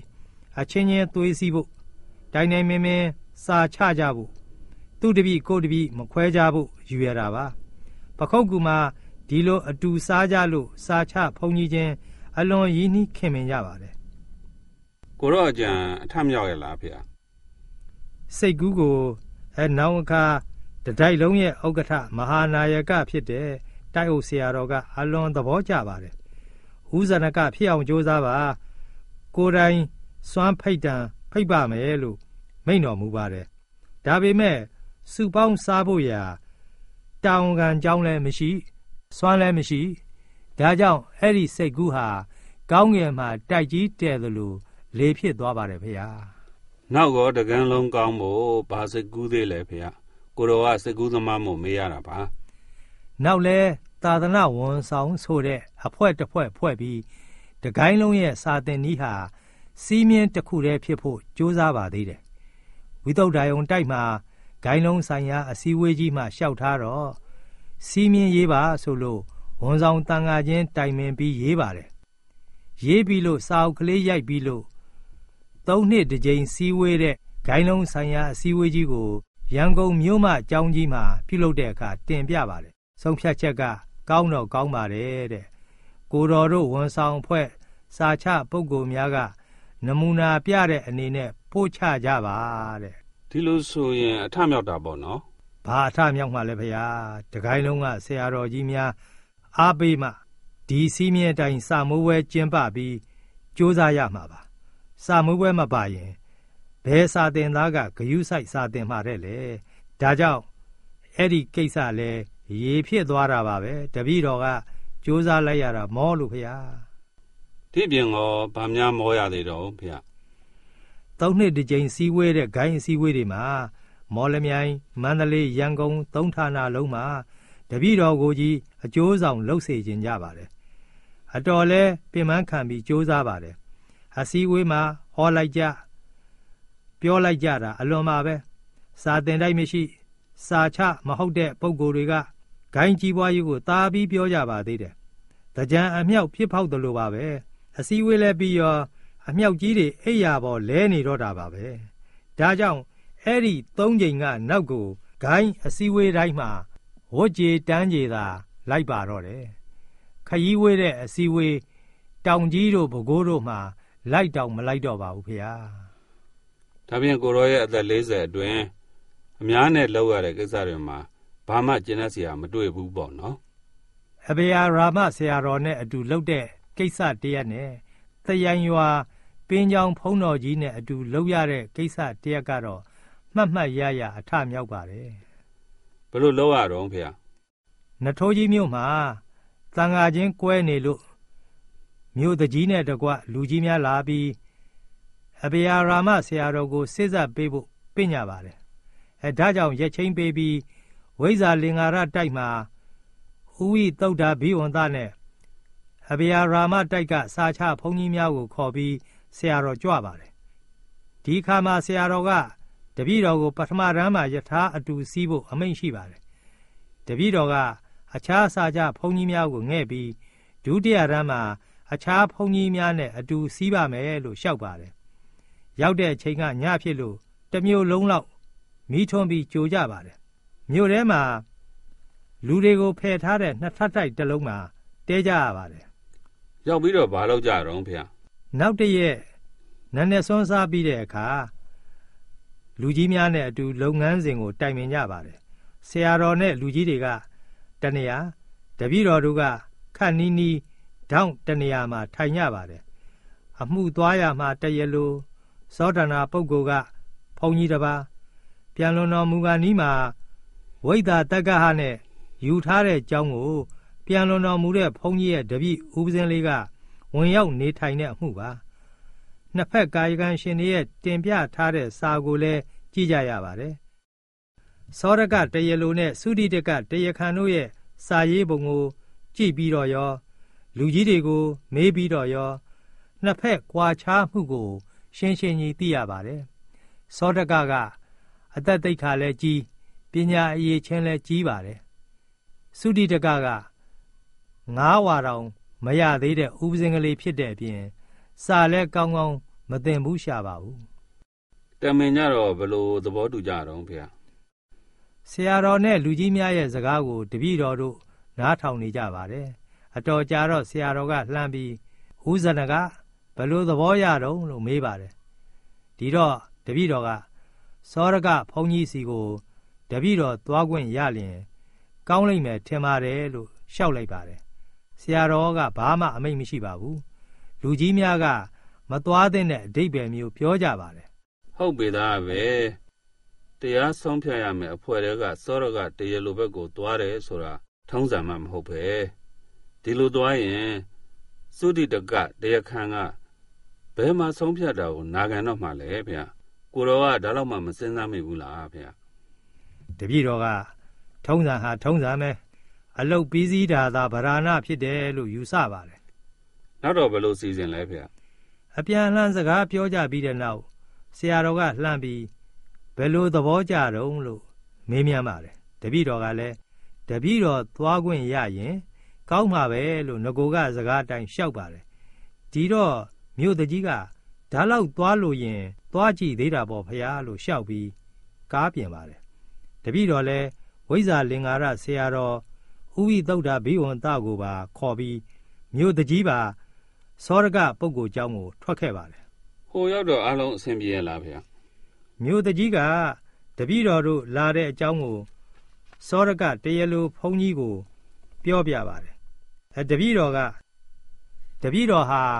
မြည်သူမြည်ဝါဖြစ်ကြောင်းအတူပါတဲ့တပားကအပထမကျော်တက်ကြတိဟတပါစရိယဝိဇ္ဇာလင်္ကာရကျောင်းတိုက်ဆရာတော် ဥဝိသုဒ္ဓဘိဝန္တဖြစ်ကြောင်းကို ပြောပြပါတယ်ဂုံလေးဖော်ပြီးမိတ်ဆက်တာပေါ့လေဆိုနိုင်ပါတယ်ဂုဏဝန္တေပတ္တန္တိဇနာ လောကတစ်ခုလုံးကိုကဂုံရှိသူကိုမှလူထင်ကြတယ်အဲဒါကြောင့်အဖော်ခေါ်တော့ကိုကဒီအချက်တွေစဉ်းစားပြီးဂုံတူးရှိတဲ့ပုံကိုယ်ကိုခေါ်ခဲ့တာဖြစ်ပါတယ်မိတ်ဆက်ပြီးဘယ်လိုများကိုတော့ကပြောရတော့ဆရာတော်ကြီးအထံပြဖို့ တဆင့်ပို့ထားတဲ့အရှင်ဖရာတို့ရဲ့စာကိုမြို့တကြီးကတဆင့်ဆရာတော်ရောတပည့်တော်တို့ရော ကြည့်ရပါတယ်စာအသွားအလာကိုကြည့်ခြင်းအပြင်အရှင်ဖရာရဲ့အရေးချင်းတဲ့စိတ်သဘောထားကိုလည်းတပည့်တော်တို့အကဲခတ်နိုင်ပါတယ်အဲ့ဒီစိတ်သဘောထားကြီးမားပုံကိုသိရလို့အရှင်ဖရာနဲ့တင်ကြိုပြီးဆွေးနွေးရအောင်တပည့်တော်တို့လာခဲ့ကြပါတယ်ဆရာတော်ဖရာကလှုပ်လို့လာခဲ့ခြင်းမဟုတ်ပါ တရားဆုံးဖြတ်မဲ့ဘက်ကဒီလိုမလာတိုက်ဘူးဆိုတာလဲတပည့်တော်တို့သိပါတယ်ဒါပေမဲ့သာသနာတော်ကိုကြည်ညိုတဲ့တရားဓာတ်ခံရှိသူတို့ရဲ့မေတ္တာဟာလောကထုံးစံတဲ့အဖို့တန်ပြီးကိစ္စလုပ်ငန်းကိုမြန်မြန်ပြီးလွယ်စေနိုင်တဲ့ယူဆလို့ထုံးစံကိုကြော်ခဲ့ခြင်းဖြစ်ပါတယ်အင်းကိုရောရဲ့စကားပလင်ကတစ်ဖက်သားနားဝင်စရာပဲပဲ စကားပလင်ပြီးတဲ့အခါဘယ်လိုဆက်ရလဲဖေ။အဲဆက်ပြီးတော့လျှောက်တာကတော့အရှင်ဘုရားလဲကျမ်းစာတွေကို ကြည့်ရှုလေ့လာပြီးဖြစ်ပါလိမ့်မယ်။အရှင်ဘုရားရဲ့စာထဲမှာဒီအကြောင်းကိုလိုချင်တဲ့ဆန္ဒမရှိဘူး။နေတဲ့ဥပဇင်းကမလေးစားဘူးထင်လို့မခံကျင်တာနဲ့ဆိုတာကိုလည်းသိရပါတယ်။ဝိဒ္ဓတက္ကဟယူရမှာပစ္စည်းရှင်ပုဂ္ဂိုလ်က ဝင်းမြောက်သဘောတူမှအထမြောက်နိုင်တယ်ဆိုတာပါနေပါတယ်ဒီတော့ပြန်တော်မူမဲ့ပုဂ္ဂိုလ်ကဘာမှပြန်မပြောနိုင်ပဲဝိဒါတက္ကဟယူခြင်းကိုသဘောတူမတူသိဖို့မခဲရင်ဘူးလားဟာကိုရောကအဲ့ဒီပုံကိုရဲ့စိတ်ထဲမှာတန်တရားဖြစ်လာအောင်နှောက်လိုက်တာပေါ့လေနှောက်တာမဟုတ်ပါဘူးတကယ်ကျမ်းဂန်သဘောကိုပြောနေတာပါဒီကိစ္စမှာဘယ်လိုဆုံးဖြတ်ခွင့်ရှိတယ်ဆိုတာ အဘယာရာမဆရာတော်ရဲ့ဆန္ဒကိုတပည့်တော်မသိရပေမဲ့အရှင်ဖရာရောတပည့်တော်ရောခံမှန်းနိုင်ပါတယ်ငါးဝါမပြည့်သေးတဲ့ဥပစင်းကလေးအတွက်ကတော့ဝဏီတော်အသွားနဲ့အထူးစဉ်းစားပွဲမလိုတော့ပါဘူးဒီတော့အရှင်ဖရာဘက်ကနင့်နာစရာမရှိပေမဲ့မသေးကြတဲ့အချက်ကလေးကရှိနေတာဖြစ်တော့ဒီเจ้าကိစ္စမှာအရှင်ဖရာမှာသာပြီးတော့ဂုံတက်အောင် အကြံပေးကျင်တာကတော့ဤเจ้าကိစ္စကိုဆရာတော်အလိုရှိသလိုဆုံးဖြတ်နိုင်ဖို့ရန်အနှံပါတယ်လို့စာရေးပြီးလက်မှတ်ထိုးလိုက်ရင် အရှင်ဖះမှလည်းဂုံတက်မယ်ဆရာတော်လည်းဆုံးဖြတ်ဖို့လွတ်လွတ်လပ်လပ်ရှိသွားမယ်ဒါကြောင့်စောစောကပြောတဲ့အတိုင်းစာရေးဖို့အကြံပေးကျင်တာပါပဲ ဒီလိုအကြံပေးတော့လိုက်နာရလားဖေ သူ့မှာတိုင်ပင်စရာတစ်ပါးရှိသေးတယ် တိုင်ပင်မရစေလို့ပြောပြီးတနေရာထသွားပါတယ်အဲသွားပြီးမကြခင် အဖော်တစ်ပါးနဲ့အတူပြန်လာတဲ့အခါတပည့်တော်ကအကျိုးအကြောင်းကိုထပ်ပြောပါတယ်ဒီအခါနှစ်ပါးသလုံးသဘောကျပြီးစောစောကအတိတ်ပဲမျိုးပါတဲ့စာကိုရေးပြီးလက်မှတ်ရေးထိုးလိုက်ပါတယ်တပည့်တော်တို့ဆွေးနွေးချိန်မှာမြို့သူကြီးကအဝေးနေပါတယ်တပည့်တော်တို့လည်းအဲ့ဒီဖုံးတော်ကြီးရဲ့စာကိုယူပြီးမြို့သူကြီးကိုခေါ်ပြီးတော့ပြန်လာခဲ့ကြပါတယ်ဖေဟာ ဒီစာကိုဆရာတော်ထံဆက်ကတော့ဘာအမိန့်ရှိတော့ဖေဒီလိုဆိုရင်အားလုံးကောင်းသွားတာပဲလို့ဝမ်းမြောက်တော်မူပါတယ်နောက်တော့ဘာကိုဆက်ပြီးလောက်ကြရတော့ဖေဟာနေ့တနာရီလောက်မှာအားလုံးတန်ခါများရော လူများရောဖရာတစောင်းကြီးထဲမှာစုကြဖို့လူကြီးများကစီမံကြပါတယ်တန်ခပရိသတ်ရော လူပရိသတ်ရော အလွန်များပါတယ်စီးဝေးတဲ့အခါမှာဆရာတော်ကတရလို စောရကပုဂ္ဂိုလ်ရဲ့စာကို ပြောပြပြီး အလွန်သူတော်ကောင်းစိတ်ရှိပါပေတယ်အားလုံးသာရုခေါ်ကြပါလို့မိန့်တော်မူတဲ့အခါအားလုံးသာရုခေါ်ကြပါတယ်အဲ့နောက်ဆရာတော်ကဘာအမိန့်ရှိတော့ဖေပရိသတ်အလယ်မှာဆုံးဖြတ်လို့မဖြစ်သေးဘူးဒီနယ်ကတန်ဃာတော်များညနေ9နာရီလောက်တဲခိုရာတိုက်ကိုကြွခဲ့ကြပါအဲ့ဒီကြမှာအဆုံးဖြတ်ပေးပါမယ်တို့က ပရိသတ်မှာကြက်စားလိမရှိဘူးဒီတော့ပရိသတ်မှာကြက်စားလိရှိတဲ့စာချဘုံကြီးဥဇနကကဩဝါဒတရားစကားပြောပါလိမ့်မယ်အဲ့ဒါလိုမိန်တော်မူပြီးတပည့်တော်ကိုအလှည့်ပေးပါတယ်ဖေဟာကိုတော်ကသံဃာပရိသတ်လူပရိသတ်ကြီးကိုကြည့်ပြီးတော့ကြောက်ရွံ့မနေဘူးလားဖေဟာတပည့်တော်ကဒီပရိသတ်ကြီးမျိုးကို ပခုတ်ကူနေစဉ်ဥပစင်းကလေးဘဝတုန်းကကျက်စားခဲ့တာပါ ရွှေကျင်ကိုင်းလုံးဆိုင်ရာမြို့ကြီးသုံးဌာနအစည်းအဝေးတွေမှာလည်းတာဝန်ဆောင်ခဲ့တယ်မဟုတ်လားဒါကြောင့်ဆရာတော်ကယုံကြည်ပြီးကိုစားပြုတော်မူတာဖြစ်ပါတယ်ဗျာကိုတော်ကဘယ်လိုဩဝါဒများကိုဟောပြခဲ့ပါသလဲဖေဟာတပည့်တော်ကလည်းတပည့်တော်ညွန်ပြတဲ့လမ်းကိုရှောရှောရှူရှူလိုက်လာတဲ့စောရကပုဂ္ဂိုလ်ကိုပဲအမွှန်းတင်တဲ့ဩဝါဒကိုပေးပါတယ်သုလဝက်ကပြင်စတတ္တိက တန်ကြီးတိတ်ခဏကမှာပါတဲ့တရားတော်ရဲ့အချုပ်ကတော့ခုတ်ကိုမနှင်းနှုတ်ကိုနင်းရှိခြင်းရိပ်မမြင်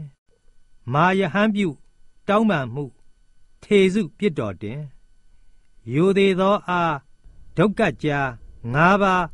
အာနန်ရှင်လို့ပခုတ်ကူစာတင်သားဘဝကစာတည်ရင်ရခဲ့တဲ့လင်္ကာတန်ပေါက်ကလေးကိုမူတည်ပြီးအကျယ်ဟောပြတဲ့ဩဝါဒဖြစ်ပါတယ် အတိပ္ပယ်အကျယ်ကဘယ်လိုပါလဲဖေဟာမြတ်စွာဘုရားကပရိနိဗ္ဗာန်ဆံတော်မူတော့မယ်လို့မိန့်တော်မူပြီးမှအရှင်အာနန္ဒာကိုငါဖျားကွယ်လွန်တော်မူသောအခါတန်ဃာများကနှုတ်ပဲလိုလျင်ခောက်တာနုခောက်တကတိတ်ခဗုဒ္ဓေကိုပယ်နိုင်တယ်လို့မိန့်တော်မူပါတယ်ရှင်အာနန္ဒာမှလည်းဖျားပရိနိဗ္ဗာန်ဆံတော်မူမဲ့အရေးကိုတွေးပြီးစိတ်သောကများနေလို့ခောက်တာနုခောက်တကတိတ်ခဗုဒ္ဓေဆိုတာ အဘယ်တိတ်ခဘုံများပါလဲလို့မလျှောက်လိုက်မိပါဘူးဒီကိစ္စအတွက်ပရိနိဗ္ဗာန်ဆံတော်မူပြီးတဲ့အခါအရှင်အာနန္ဒာကို မထေကြီးများကအပြစ်တင်ကြပါတယ်။ဒါကြောင့်ခုတ်ကိုမနှင်းလို့လင်္ကာမှာစတ်ဆူထားပါတယ်။နောက်တစ်မျိုးကဘာအတုပ်ပဲတော့ဖေ။အခါတစ်ပါးမှာဖယားရှင်ရဲ့ရေတနုတ်တော်စုပ်နေလို့အရှင်အာနန္ဒာကချုပ်ပေးရပါတယ်။ ချုပ်တဲ့အခါကင်ပေးမဲ့ယဟန်တပါးမှမရှိလို့သင်္ကန်းရဲ့တစ်ဖက်အစကို ခြေနဲ့နင်းပြီးချုပ်မိပါတယ်။ဒါကိုလည်းပရိနိဗ္ဗာန်ဆံတော်မူပြီးမှ အပြစ်တင်ကြပါတယ်။ဒါကြောင့်နှုတ်ကိုနင်းလို့လင်္ကာမှာစတ်ဆူထားပါတယ်။နောက်တစ်မျိုးကောဗာတိတ်ပဲလေဖေ။ဖျားရှင်ပရိနိဗ္ဗာန်ဆံတော်မူပြီးတဲ့အခါမှာမာတုကာမတွေကို အရင် အရှိဦးအလောင်းတော်ကိုရှ िख ိုးစေပါတယ်။မာတုကာမတွေကလည်းအလောင်းတော်ကိုရှ िख ိုးကြရင်ငိုကြလို့မျက်ရည်တွေရွှဲဆူနေပါတယ်ဒါကိုလည်းအပြစ်တင်ကြပါတယ်ဒါကြောင့်ရှိခြင်းလို့လင်္ကာဆတ်ဆူထားပါတယ်အရှင်အာနန္ဒာကလည်းနောက်မှရှ िख ိုးစေရင်မှောင်းနေမှာစိုးလို့မာတုကာမတွေကိုအချိန်ရှိတုန်းပြန်နိုင်အောင် အရင်ရှ िख ိုးစေခြင်းဖြစ်ပါတယ် အရှင်အာနန္ဒာမှာအပြစ်မရှိပါဘူးနောက်တစ်မျိုးကဘာအတိတ်ပဲလဲဖေဟာဖះရှင်ဟာ3လလောက်လွန်လို့ရှိရင်ပရိနိဗ္ဗာန်ဆံတော်မူလိမ့်မယ်လို့မိန့်တော်မမူခင်ကလေးမှာပဲအရှင်အာနန္ဒာကို အမိန့်ရှိဘူးပါတယ်အာနန္ဒာအဲ့ဒီဘတ်၄ပါးကို ပွားများထားတဲ့ပုဂ္ဂိုလ်သည် အာယုကကုံအောင်တည်နေနိုင်တယ်ငါဖျားလဲအဲ့ဒီဘတ်၄ပါးကို ကောင်းကောင်းပိုင်နိုင်အောင် ပွားများပြီးဖြစ်တာကြောင့်အာယုကဆုံးအောင်ပရိနိဗ္ဗာန်မဆံပဲနေတော်မူနိုင်တယ်လို့အာယုကပတ်လုံးတီတော်မူပါလို့ရှောက်နိုင်အောင်အယိတ်နမိတ်ကို အမိန်တော်ရှိတော်လဲဖယားရှင်ရဲ့အယိတ်နမိတ်စကားကို နားမလဲအောင်မနက်ကအဲ့ဒီချိန်မှာနှောက်ယှက်ထားလို့အာယုကပတ်လုံးတီးတော်မူပါလို့မလျှောက်မိပါဘူးအဲ့ဒီချက်ကိုလည်းမထေများကအပြစ်တင်တော်မူကြပါတယ်ဒါကြောင့် ရိတ်မမြင်လို့လင်္ကာမှာဆိုထားပါတယ်မာနရဲ့လှက်ပတ်မှုကိုခံရတာကြောင့်မလျှောက်မိခြင်းဖြစ်ရကားအရှင်အာနန္ဒာမှာအပြစ်မရှိပါနောက်တစ်မျိုးကဘာအတိတ်ပဲလဲဖေမာတုကာမများကိုယဟန်ပြုခွင့်ပေးဖို့အရှင်အာနန္ဒာဟာ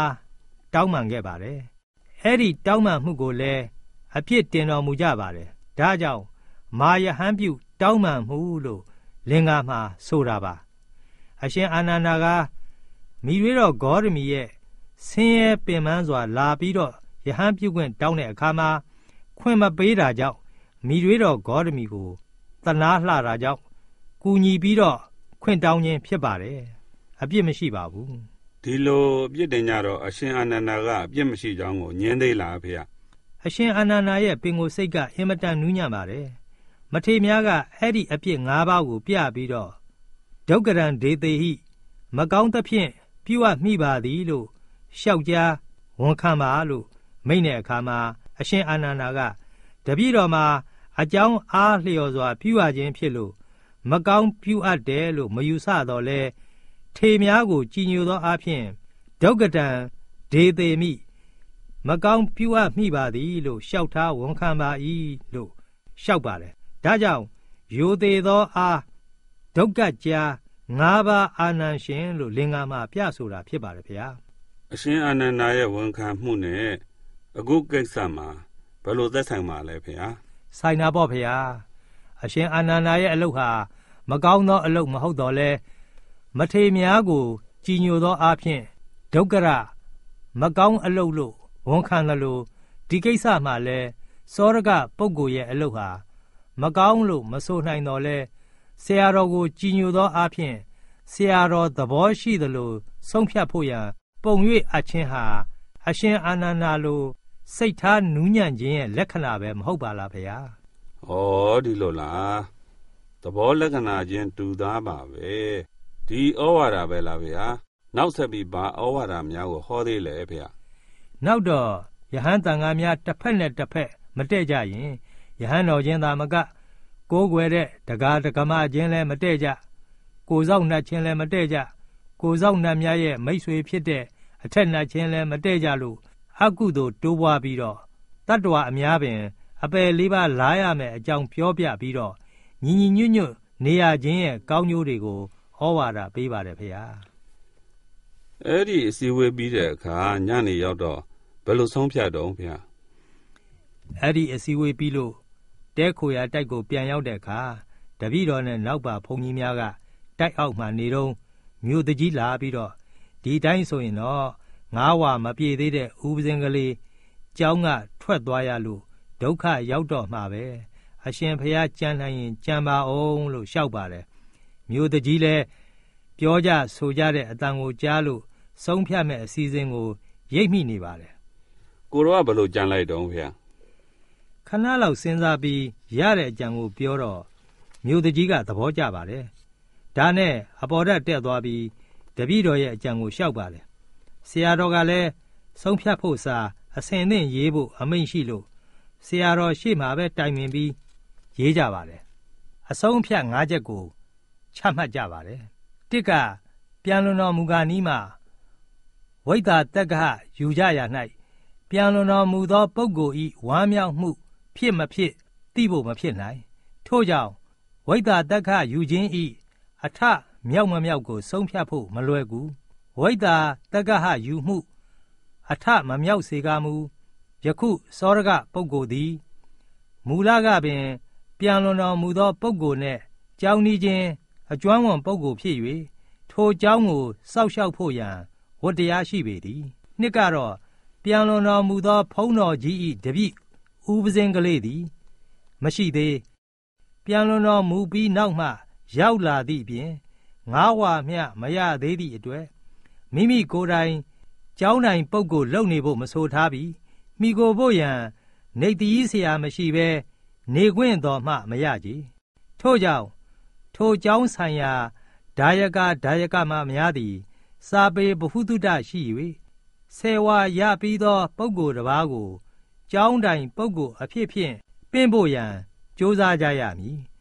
ထို့သောကြိုးစားရ၌အနီးဆရာတော်ကြီးနှင့်ဝိတာတက္ကဟယူထားသောဆရာတော်နှစ်ပါးကို တိုင်ပင်၍ထိုဆရာတော်များသဘောကျဖြစ်စေရမည်နှစ်ဖက်လုံးကလေးစားလောက်သော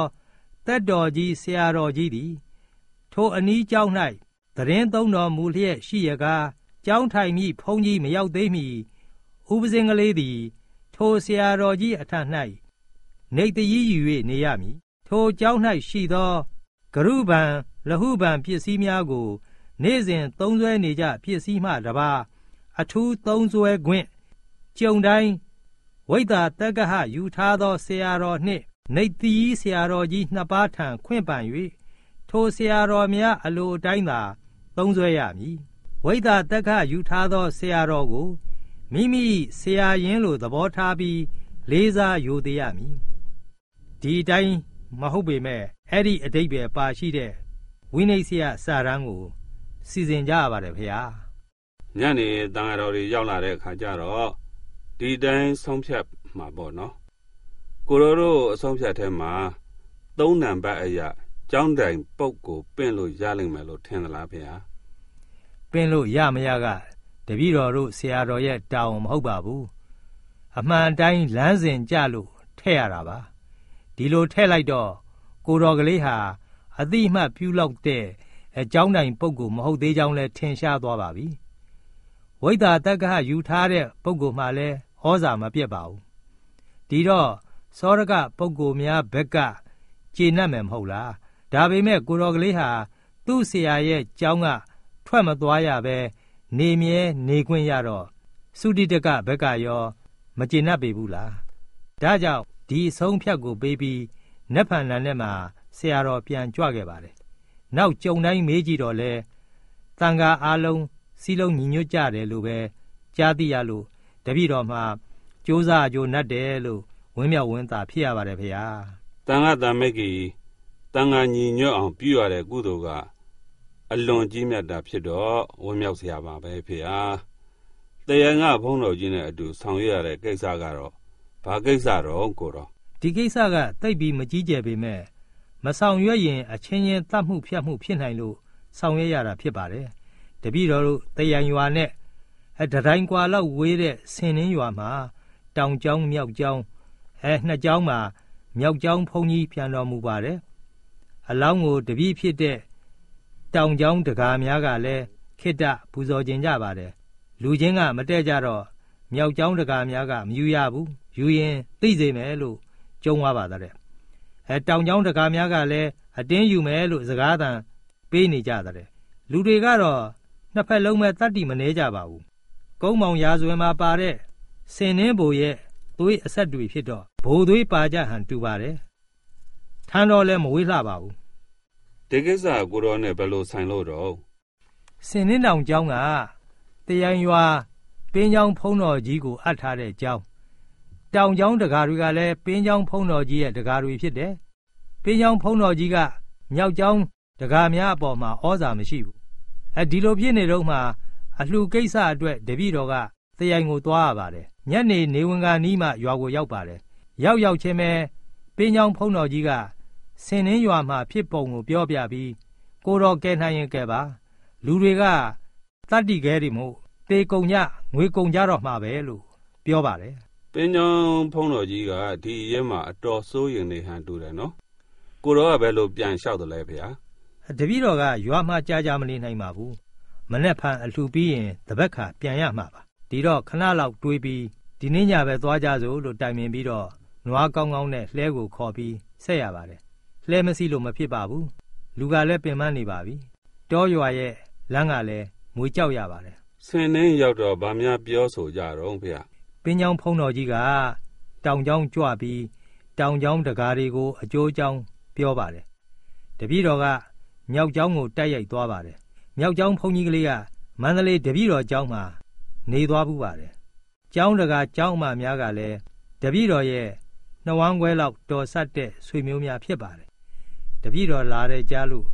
ကျောင်းဆိုင်ရာဒကာဒကမတွေချက်ချင်းရောက်လာကြပါတယ်။မှောင်းနေလို့လူတွေကိုတဲတဲကွယ်ကွယ်မသိရပါဘူးကိုရောကဗာများစကားဆလိုက်တော့။ဒီပရိသတ်ထဲမှာဘုန်းကြီးရဲ့ဆွေမျိုးတွေလည်းပါမှာပဲနော်လို့စကားဆလိုက်ရင်ပဲပါပါတယ်ပါပါတယ်ဆိုတဲ့အတန်လေးထွက်လာပါတယ်။အဲမိမိလာခဲ့တဲ့အကြောင်းကိုပြောပြပြီးတော့တရက်သေးတရွာထဲမှာလုံးလုံးသွေးကွဲတဲ့သူရဲ့လို့မရှိနိုင်ပါဘူး။ တနည်းမဆတနည်းဆက်နဲ့သွေးသားဆက်နေတာကြီးပါပဲ။အမျိုးရဲ့ထက်မြက်တဲ့တတ္တိကို နေရာတိုင်းမှာ